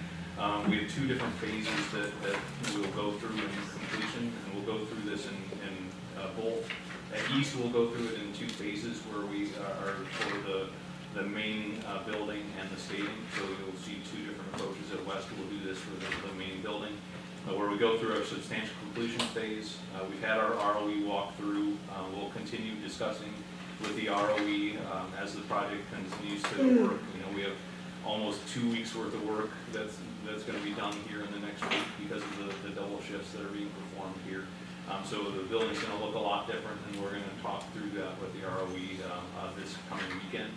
Um, then we'll go through and we'll do a punch list review of the punch list provided to us by the construction manager. Um, we've done our called inspections, those are required by the state, uh, to, to, uh, review it as the project is completed. Um, we've walked through the building with the district on a number of occasions, uh, on a weekly basis through the project as well. After that, we will issue a certificate of, of, uh, we will issue, issue for an application for that, um, certificate of, uh, of occupancy. And then we will also issue a, um, a certificate of substantial completion. So during the, between that time of substantial completion and final acceptance, um, that starts our warranty period for the project, so the year's standard warranty begins at that point. But construction work will continue, uh, ongoing on items that are either not completed from the punch list or, or items that need to be completed. Um, at final acceptance, you'll have all that list of items that there, that you see there will be completed. Training will be completed, the punch list will be done. Uh, closeout documents, including warranties and manuals, and, and will be, uh, will be sent and training will be completed. Uh, and then we'll have final pay application and a, uh, the general occupancy survey. And then we'll schedule, we've scheduled, as we've done on the projects that have been completed to date, we schedule a, a walkthrough one year out, uh, less than a one year out, so that we're able to identify any items that need to be completed within that warranty period before the warranty period expires, and the contractors can be brought back to do that. Um, at East, the, the requested images for the grandstands here, you see there's three from the, the manufacturer that were brought together. Uh, we had, we, we had a list of schools that we had, had, uh, brought to you last time. We looked through, we didn't have really good images of those, we can certainly go out and get them, but these are representative. As you saw, also the image at the top of the slide here that shows, uh, a, an image of what these, these bleachers will look like, so. Again, you have the closed-off riser on the top, which really helps um, contain both materials from falling through the bleachers and also keeps any wind that comes through the bleachers onto the, onto the spectators uh, from under there. It also provides, as you can see in this bottom image here, a really good spark of color onto, on the, the uh, field uh, as well. Uh, So these are really uh, good representatives. You have the uh, press box, three, three chamber press box, um, where you'll be able to control um, uh, sound and scoreboard from in there. Have two different areas for uh, either two different teams or uh, two different observers on either side there, as well as a uh, protected area on the top that is accessed through a hatch um, that you can do filming uh, during, during games and during practices. The auto shop tunnel. The, the, I'm sorry. Sorry. The, the, sorry, um, is that insulated? I'm sorry? The booth insulated? The booth is insulated, it is not uh, currently air conditioned or heated. Um, a- Actually, it's heated, I'm sorry, It it's is heated? electrically heated. Thank Uh, That would be terrible. So that's good. But, but we don't have air conditioning in there. Um, What, what we've seen, this one is? Oh, this one's air conditioned. It is air conditioned. We had, in the past, we haven't, we've used, uh, we used smaller units for that, but I think we've, we've built that in. Apologize. So that's good. And we'll go, and we'll talk through the other. If, if you remember, we talked uh, about the uh, West Auto Shop tunnel a while back, um, and that was also sent out, and we have some additional information. Thanks, Mike. Hi, um, I haven't, uh, presented to you in a while, at least in person, so I just wanted to reintroduce myself. My name is Jessica Wagner, I'm an architect firm as well. Wagner? No relation. For the record, there's no relation. You see me?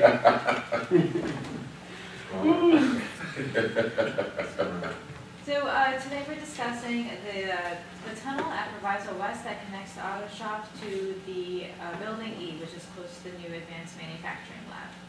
So this issue was first brought up to Perkins and Will in February, in, uh, fall of twenty nineteen. And in January twenty twenty, uh, there were three options that Perkins and presented to the district in order to remedy the flooding and the structural concerns in this area.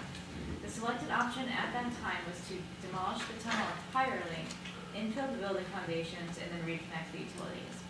In December of the same year, uh, bids to perform the tunnel work were received by Gilbane, and the total approximated about five hundred thousand dollars.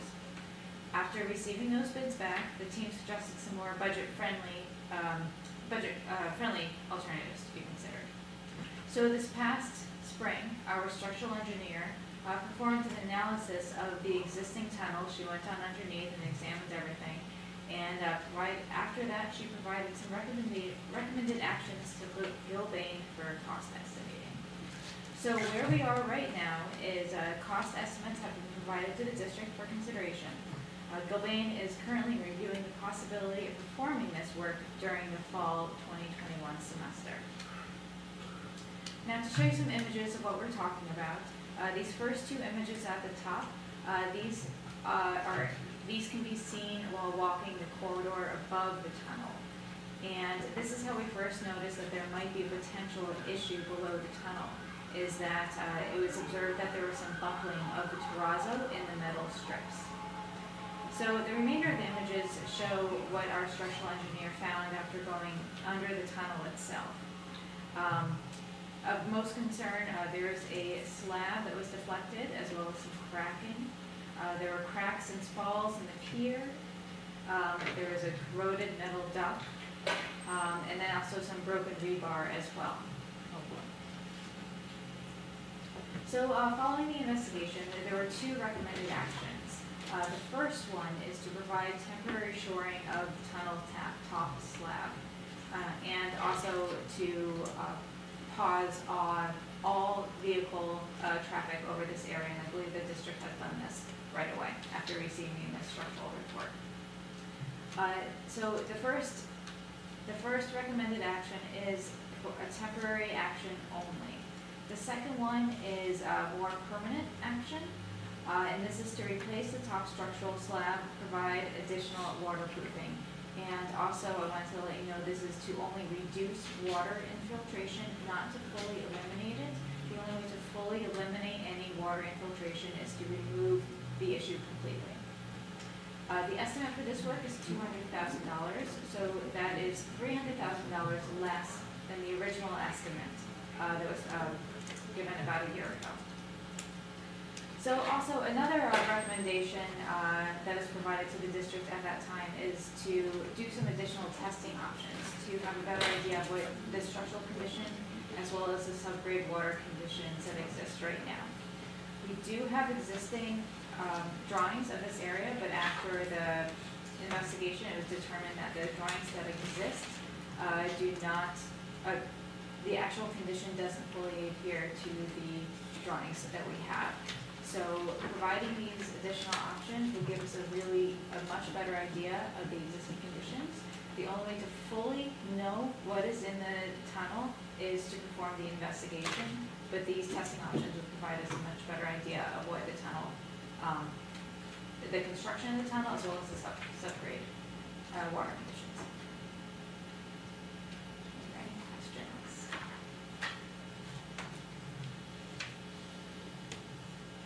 Thank you. All right, thank you. That concludes our presentation.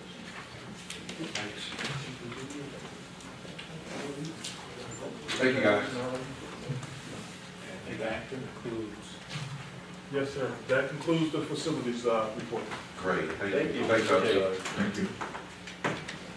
Thank you, guys. Be safe out there. That concludes, that, okay, great. All right, moving right along to the consent agenda portion of the meeting. Are there any items to be pulled from the consent agenda? Yes, I'd like to pull fourteen G, and I would like to pull fourteen K. The entire thing? Um, yeah, so that, or no, I just wanna vote on it separately, I just. Okay, fourteen G and fourteen yeah, So we K. can discuss it when we get there. Gotcha. Thank you. Uh,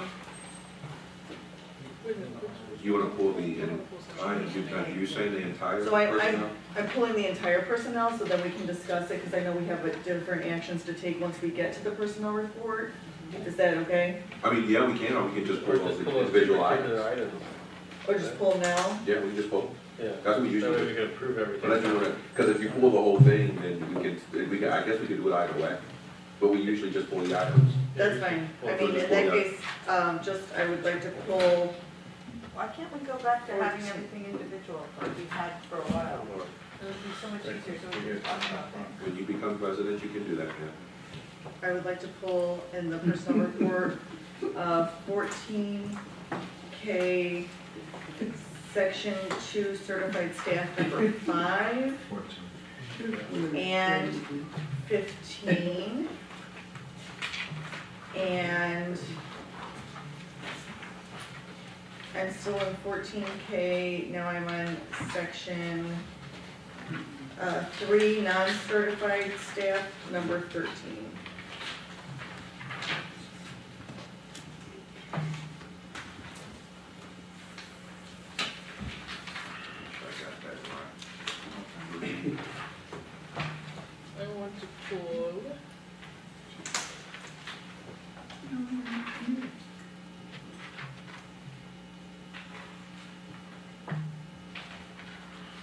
I'm ready. Four C, Four C, yes, fourteen C? no, four C, Oh, you're in personnel? under other employment, uh-huh. Fourteen C. She said four C. Okay, gotcha. Any others?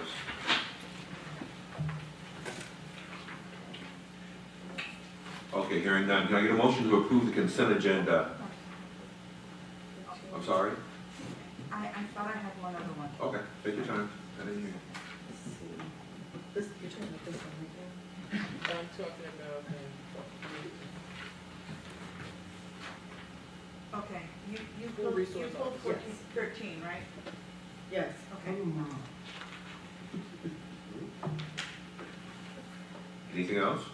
No, no, I, I know which one. Okay, great. Can I get a motion? Was that B thirteen?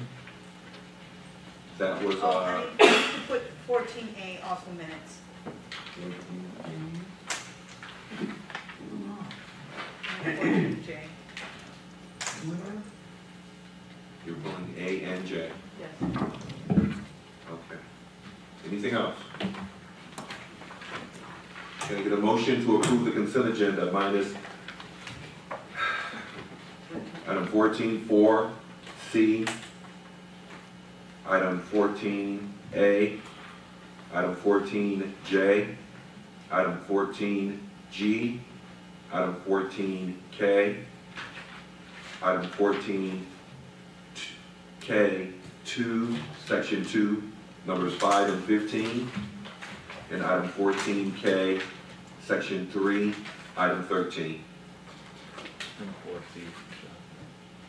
Did I get four C? Yes. Yeah, I said four C. Did I say Fourteen it? K, four C. Fourteen K four C. That was the one Mrs. Patterson asked to pull. Oh, yeah, I put, mhm, yeah, you're right, I'm sorry. Thank you, sir, thank you, thank you. Uh, item fourteen K four C, and I don't know why I put it up here instead of down here. Got you. Thank you, sir. Second. Ms. Grant? I'm sorry. Discussion? Ms. Grant, please call the roll. Um, sure, Mrs. Patterson? Aye. Ms. Grant, aye. Mr. Valtierrez? Aye. Mr. Wagner? Aye. Mrs. Kelly? Aye. Mrs. Medina? Abstain. Mr. Alexander? Aye. Motion carries. Can I get a motion to approve item fourteen A, minutes? So moved. Second. Discussion? Uh, I need to, um, I, I wasn't here for those minutes, so I need to make sure that I, not no, I'm abstaining. Okay. Any other discussion? Ms. Grant, please call the roll. Uh, Sure, Ms. Grant, aye. Mr. Valtierrez? Aye. Mr. Wagner? Aye. Mrs. Kelly? Aye. Mrs. Medina? Abstain, I wasn't present. Yes. Mrs. Patterson? Aye. Mr. Alexander? Aye.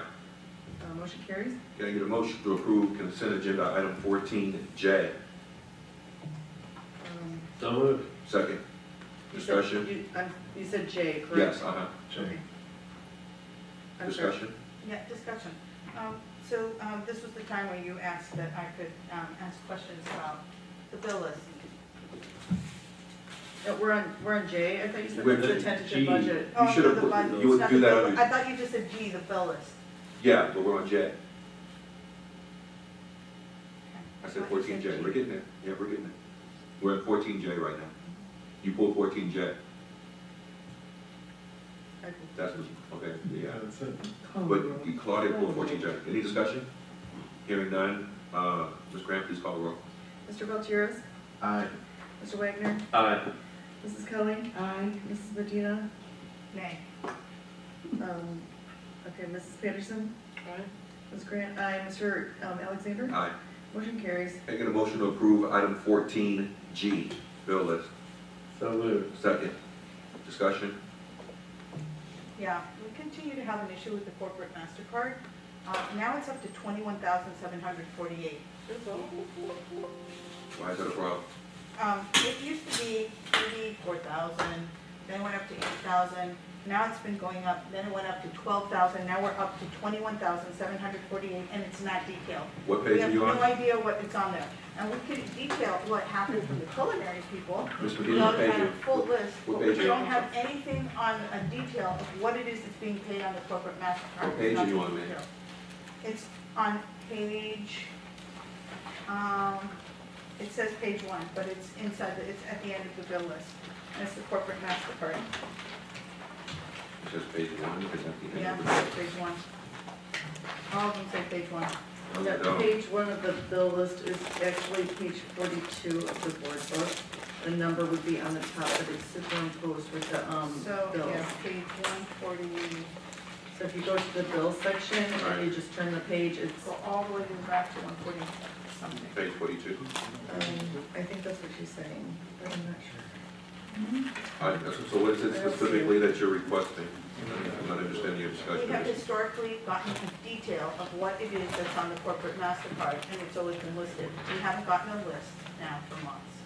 And since it has gone up so, it's gone up ten thousand dollars in just the last couple of I don't months, see it. for twenty-one thousand seven hundred and forty-eight point thirty in expenses, those things should be detailed, but that's a lot of money. I don't see it at all. What page are you could guys on? be some past due bills? No, ma'am.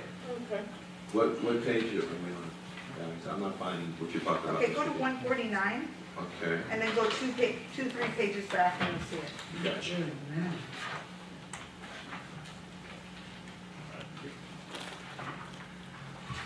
It's on the very bottom. Uh,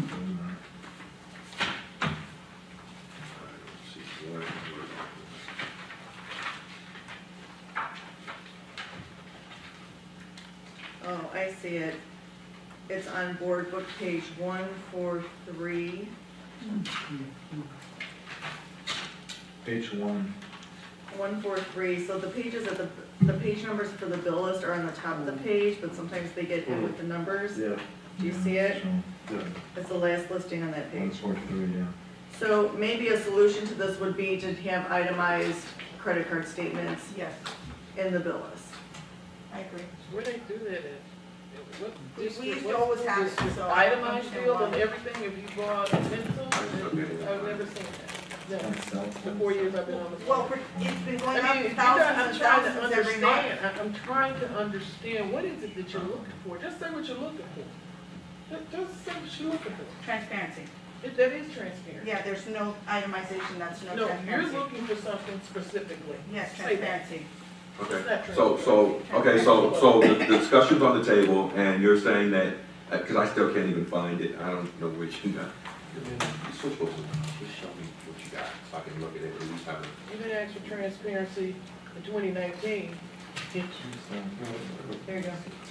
Because it was itemized in twenty nineteen.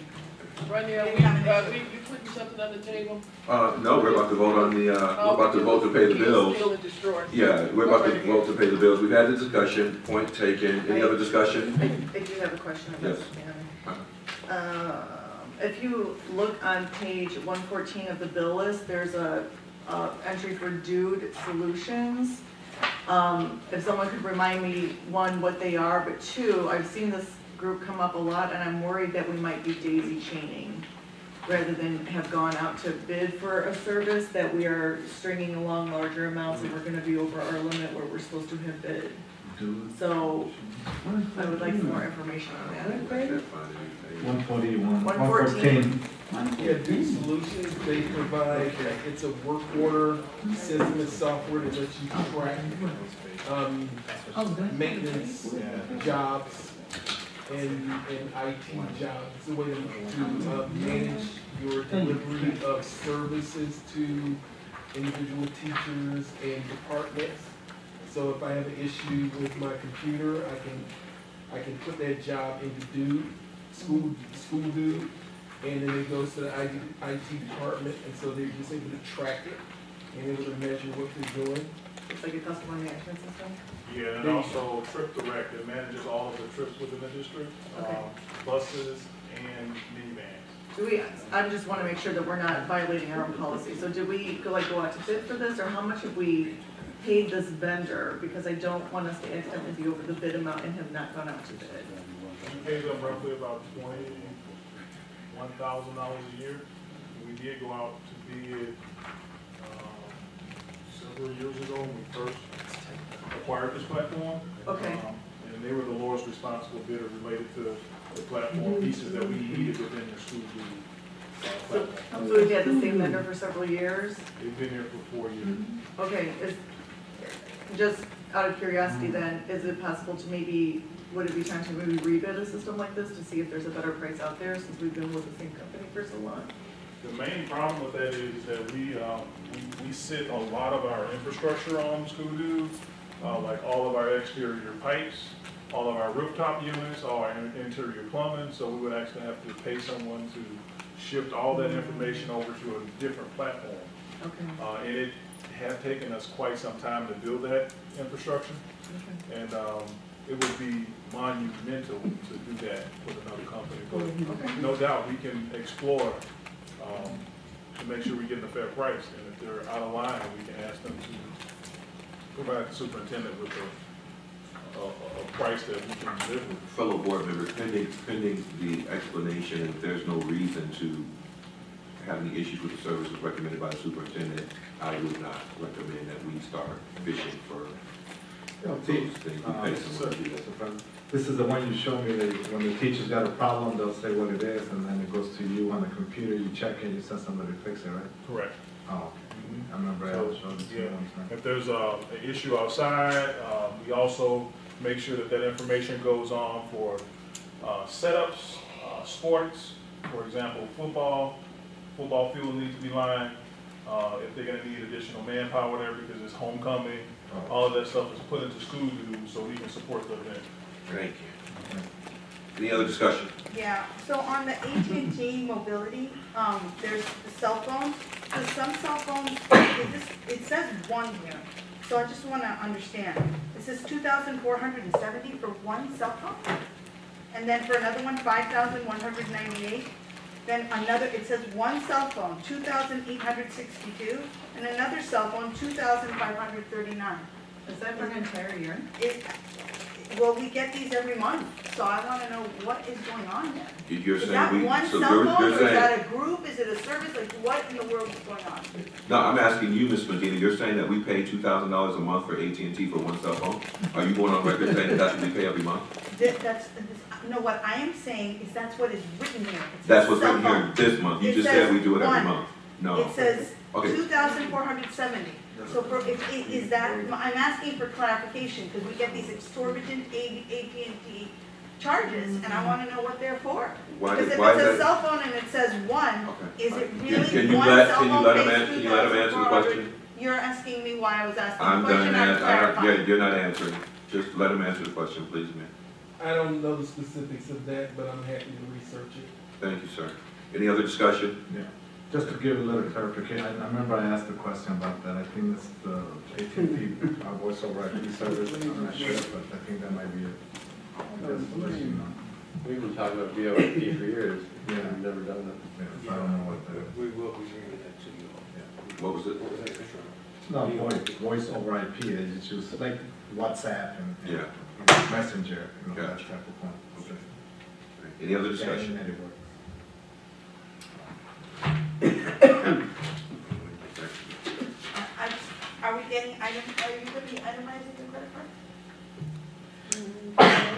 No, we didn't, we didn't agree to that, Did we Ms. agree to Medina. that, or no? You can, if it pleases the board, if you got four board members that would like to request Dr. Henderson itemize the credit card, then board, speak your It was always direction. itemized before. We so heard I you, don't Ms. understand Medina, why- can we, why it's can we not see if we, itemized. can we see if other, we got three more board members? Yeah, I don't care, you can itemize it, I don't care.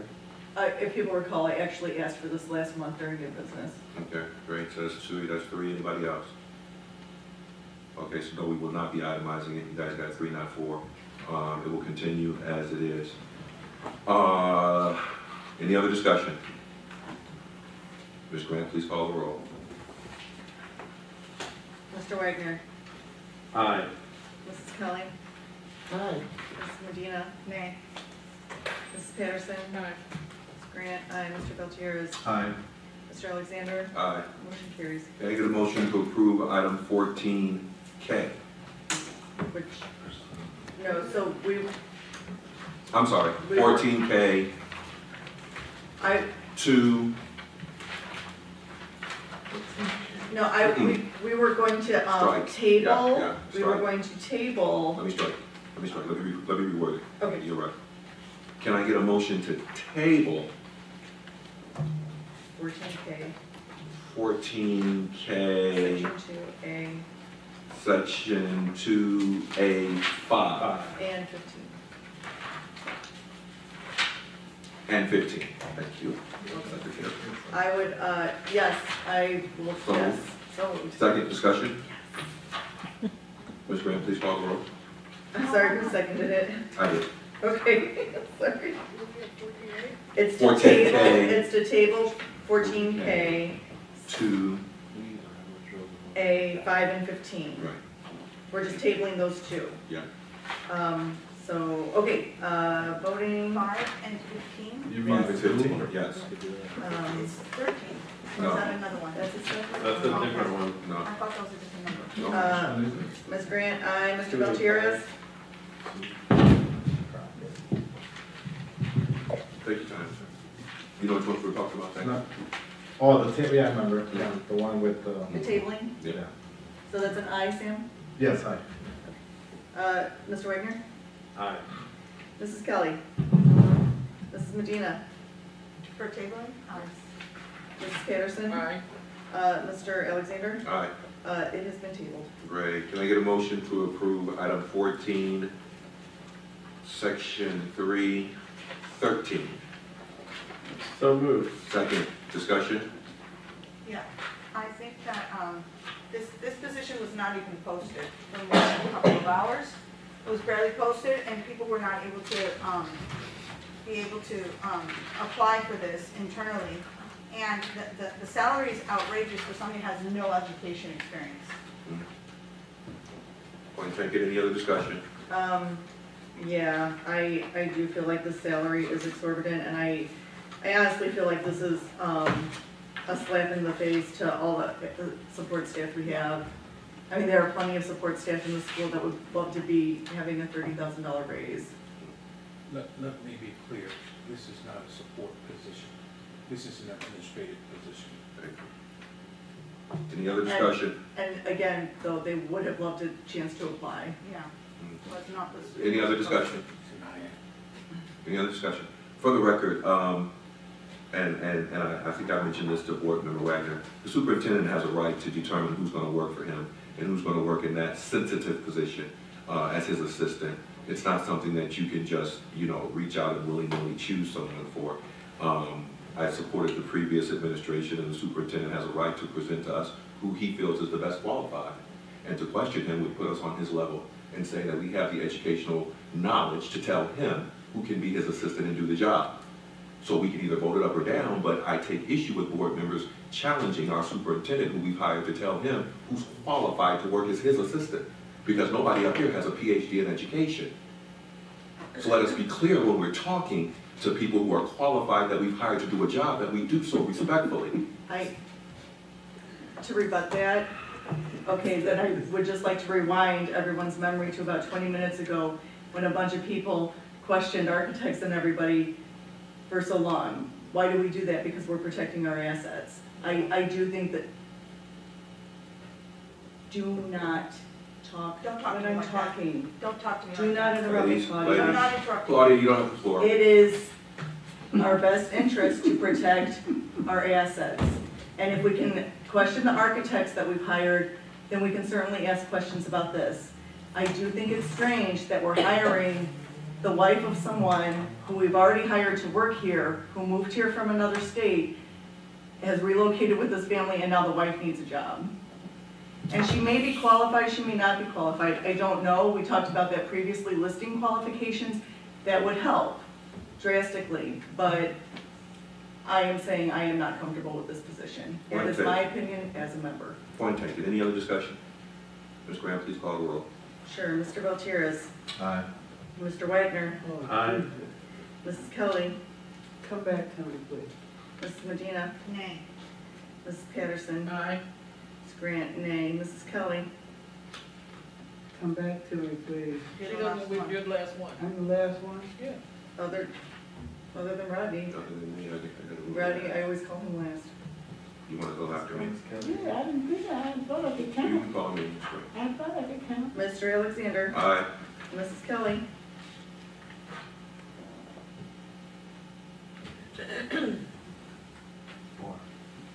Aye. Motion carries.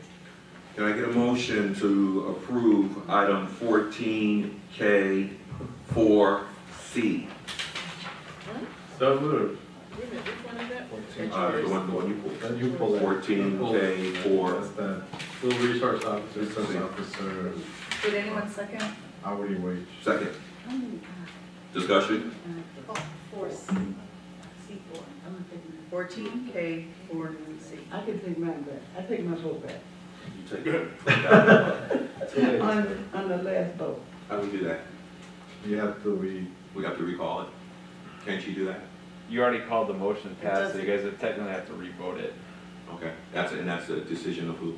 The board, well, the, initially it'd be your decision, if you denied it, then I guess somebody could appeal the decision to the chair, and you could vote on it, whether you want to redo it, but once you call the vote passed, Right. then the vote stands. Thank you, so the vote's passed and stands, we're not recalling it.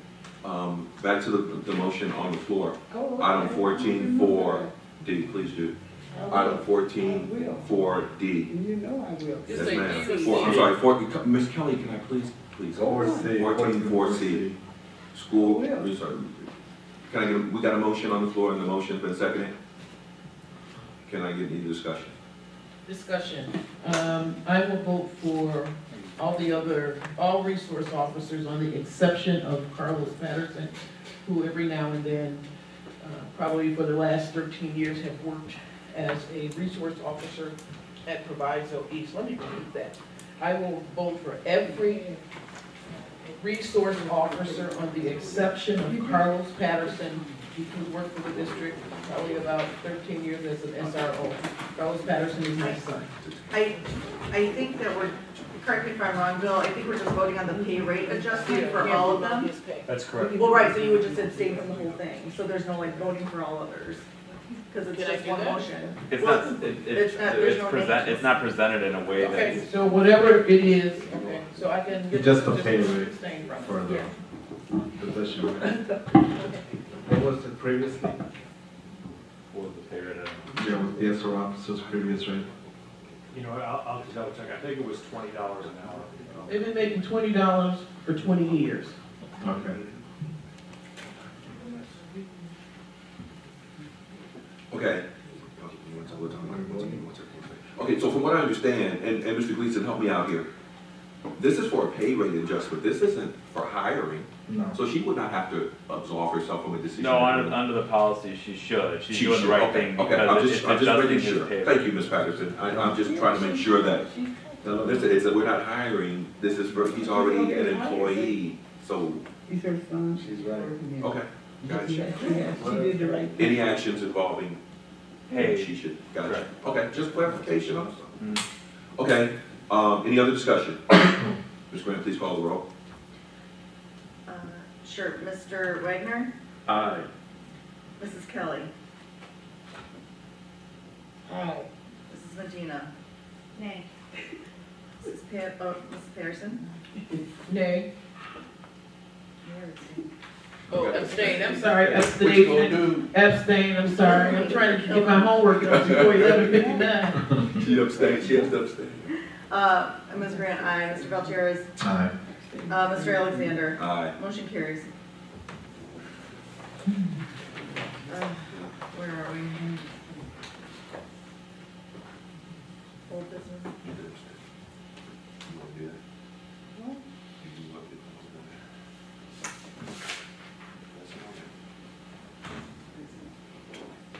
We can't have a side, like Ms. Kelly. I, I would, Speak, speak, okay, listen, we have to, if we're gonna discuss this, we have to discuss it openly. Yeah. We cannot, I cannot go over here with you. New business, we skipped old business. hearing none, old No, new, old business, new business, which one? New business, we're on new business. New business, I believe I. All business first. Is it old business first? Old business. I'm sorry, old business. Yeah. So, um, I know a few years back when, uh, the other administration was here, I always, uh, I had a lot of people out in the community complain about the registration process, so I, I think during that time, we took the initiative as a board and we tried to make things a little better and kind of get that, uh, online process going early in the year. Uh, you know, so we wouldn't have the last minute registration, even though we still have it. So I just want to point it out there, I mean, uh, this is a community out there, I'm not pointing fingers at anybody, but, um, I just hear it, but when I hear it from somebody that I know, it it just gets too close to me, so I, I hear that they're, you know, they're not answering emails, or they're not, you know, a lot of people have issues with registration, and I'm not saying that's the case, this is what's out there. Uh, usually what I do, I, I direct them to the process.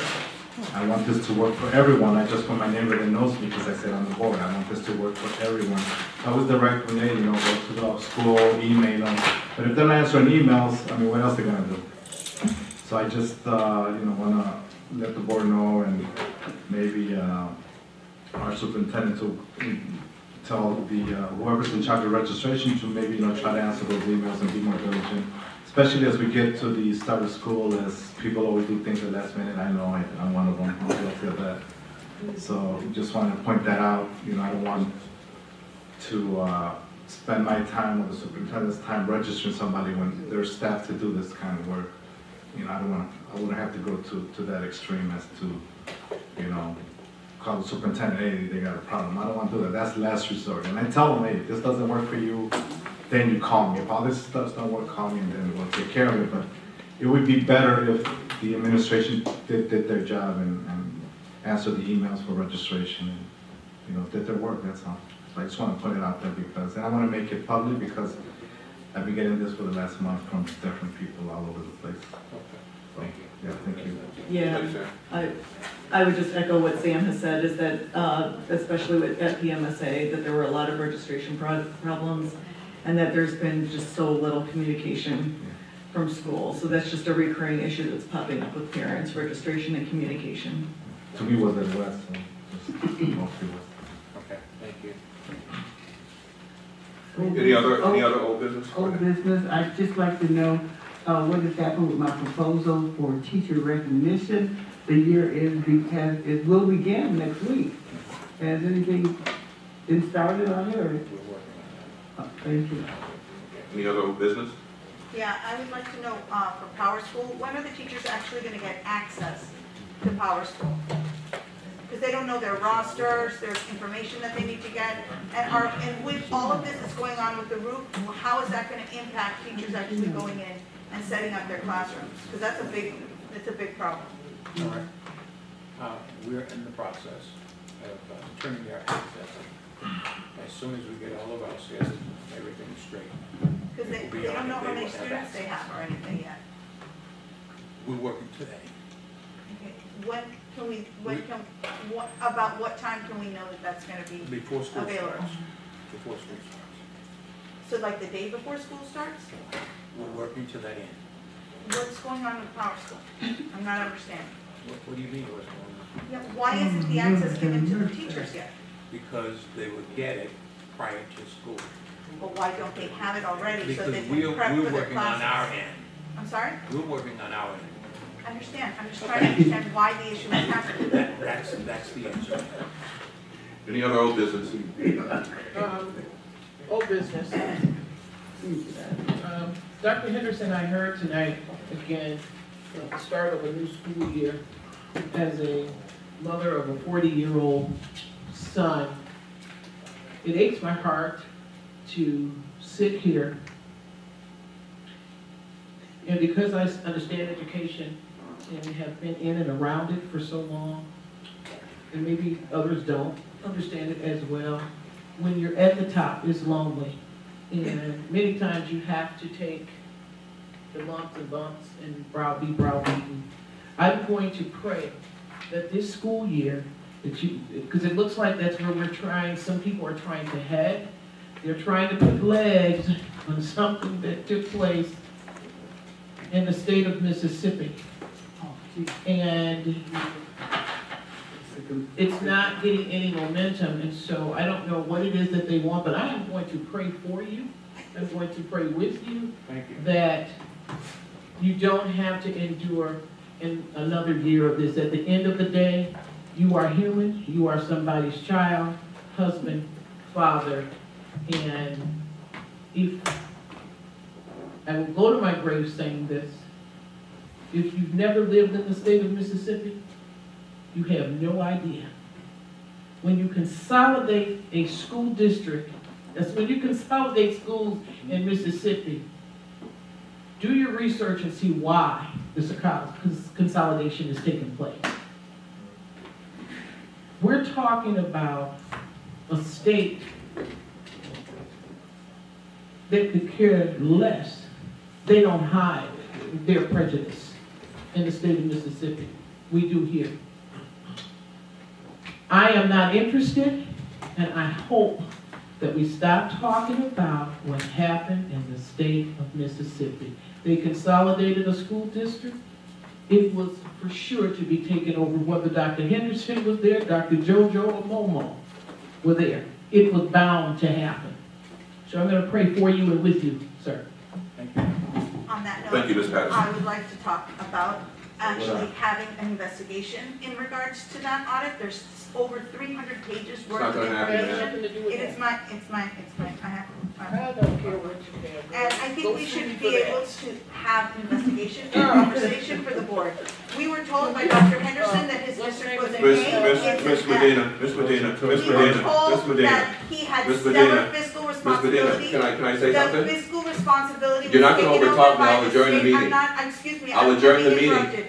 And, and the fiscal responsibility was taken. Meeting and so adjourned. Was Meeting the adjourned. All in dissolution of the board. Uh, this board should investigate. It is Meeting's over, ma'am. irresponsible. It was called Yeah.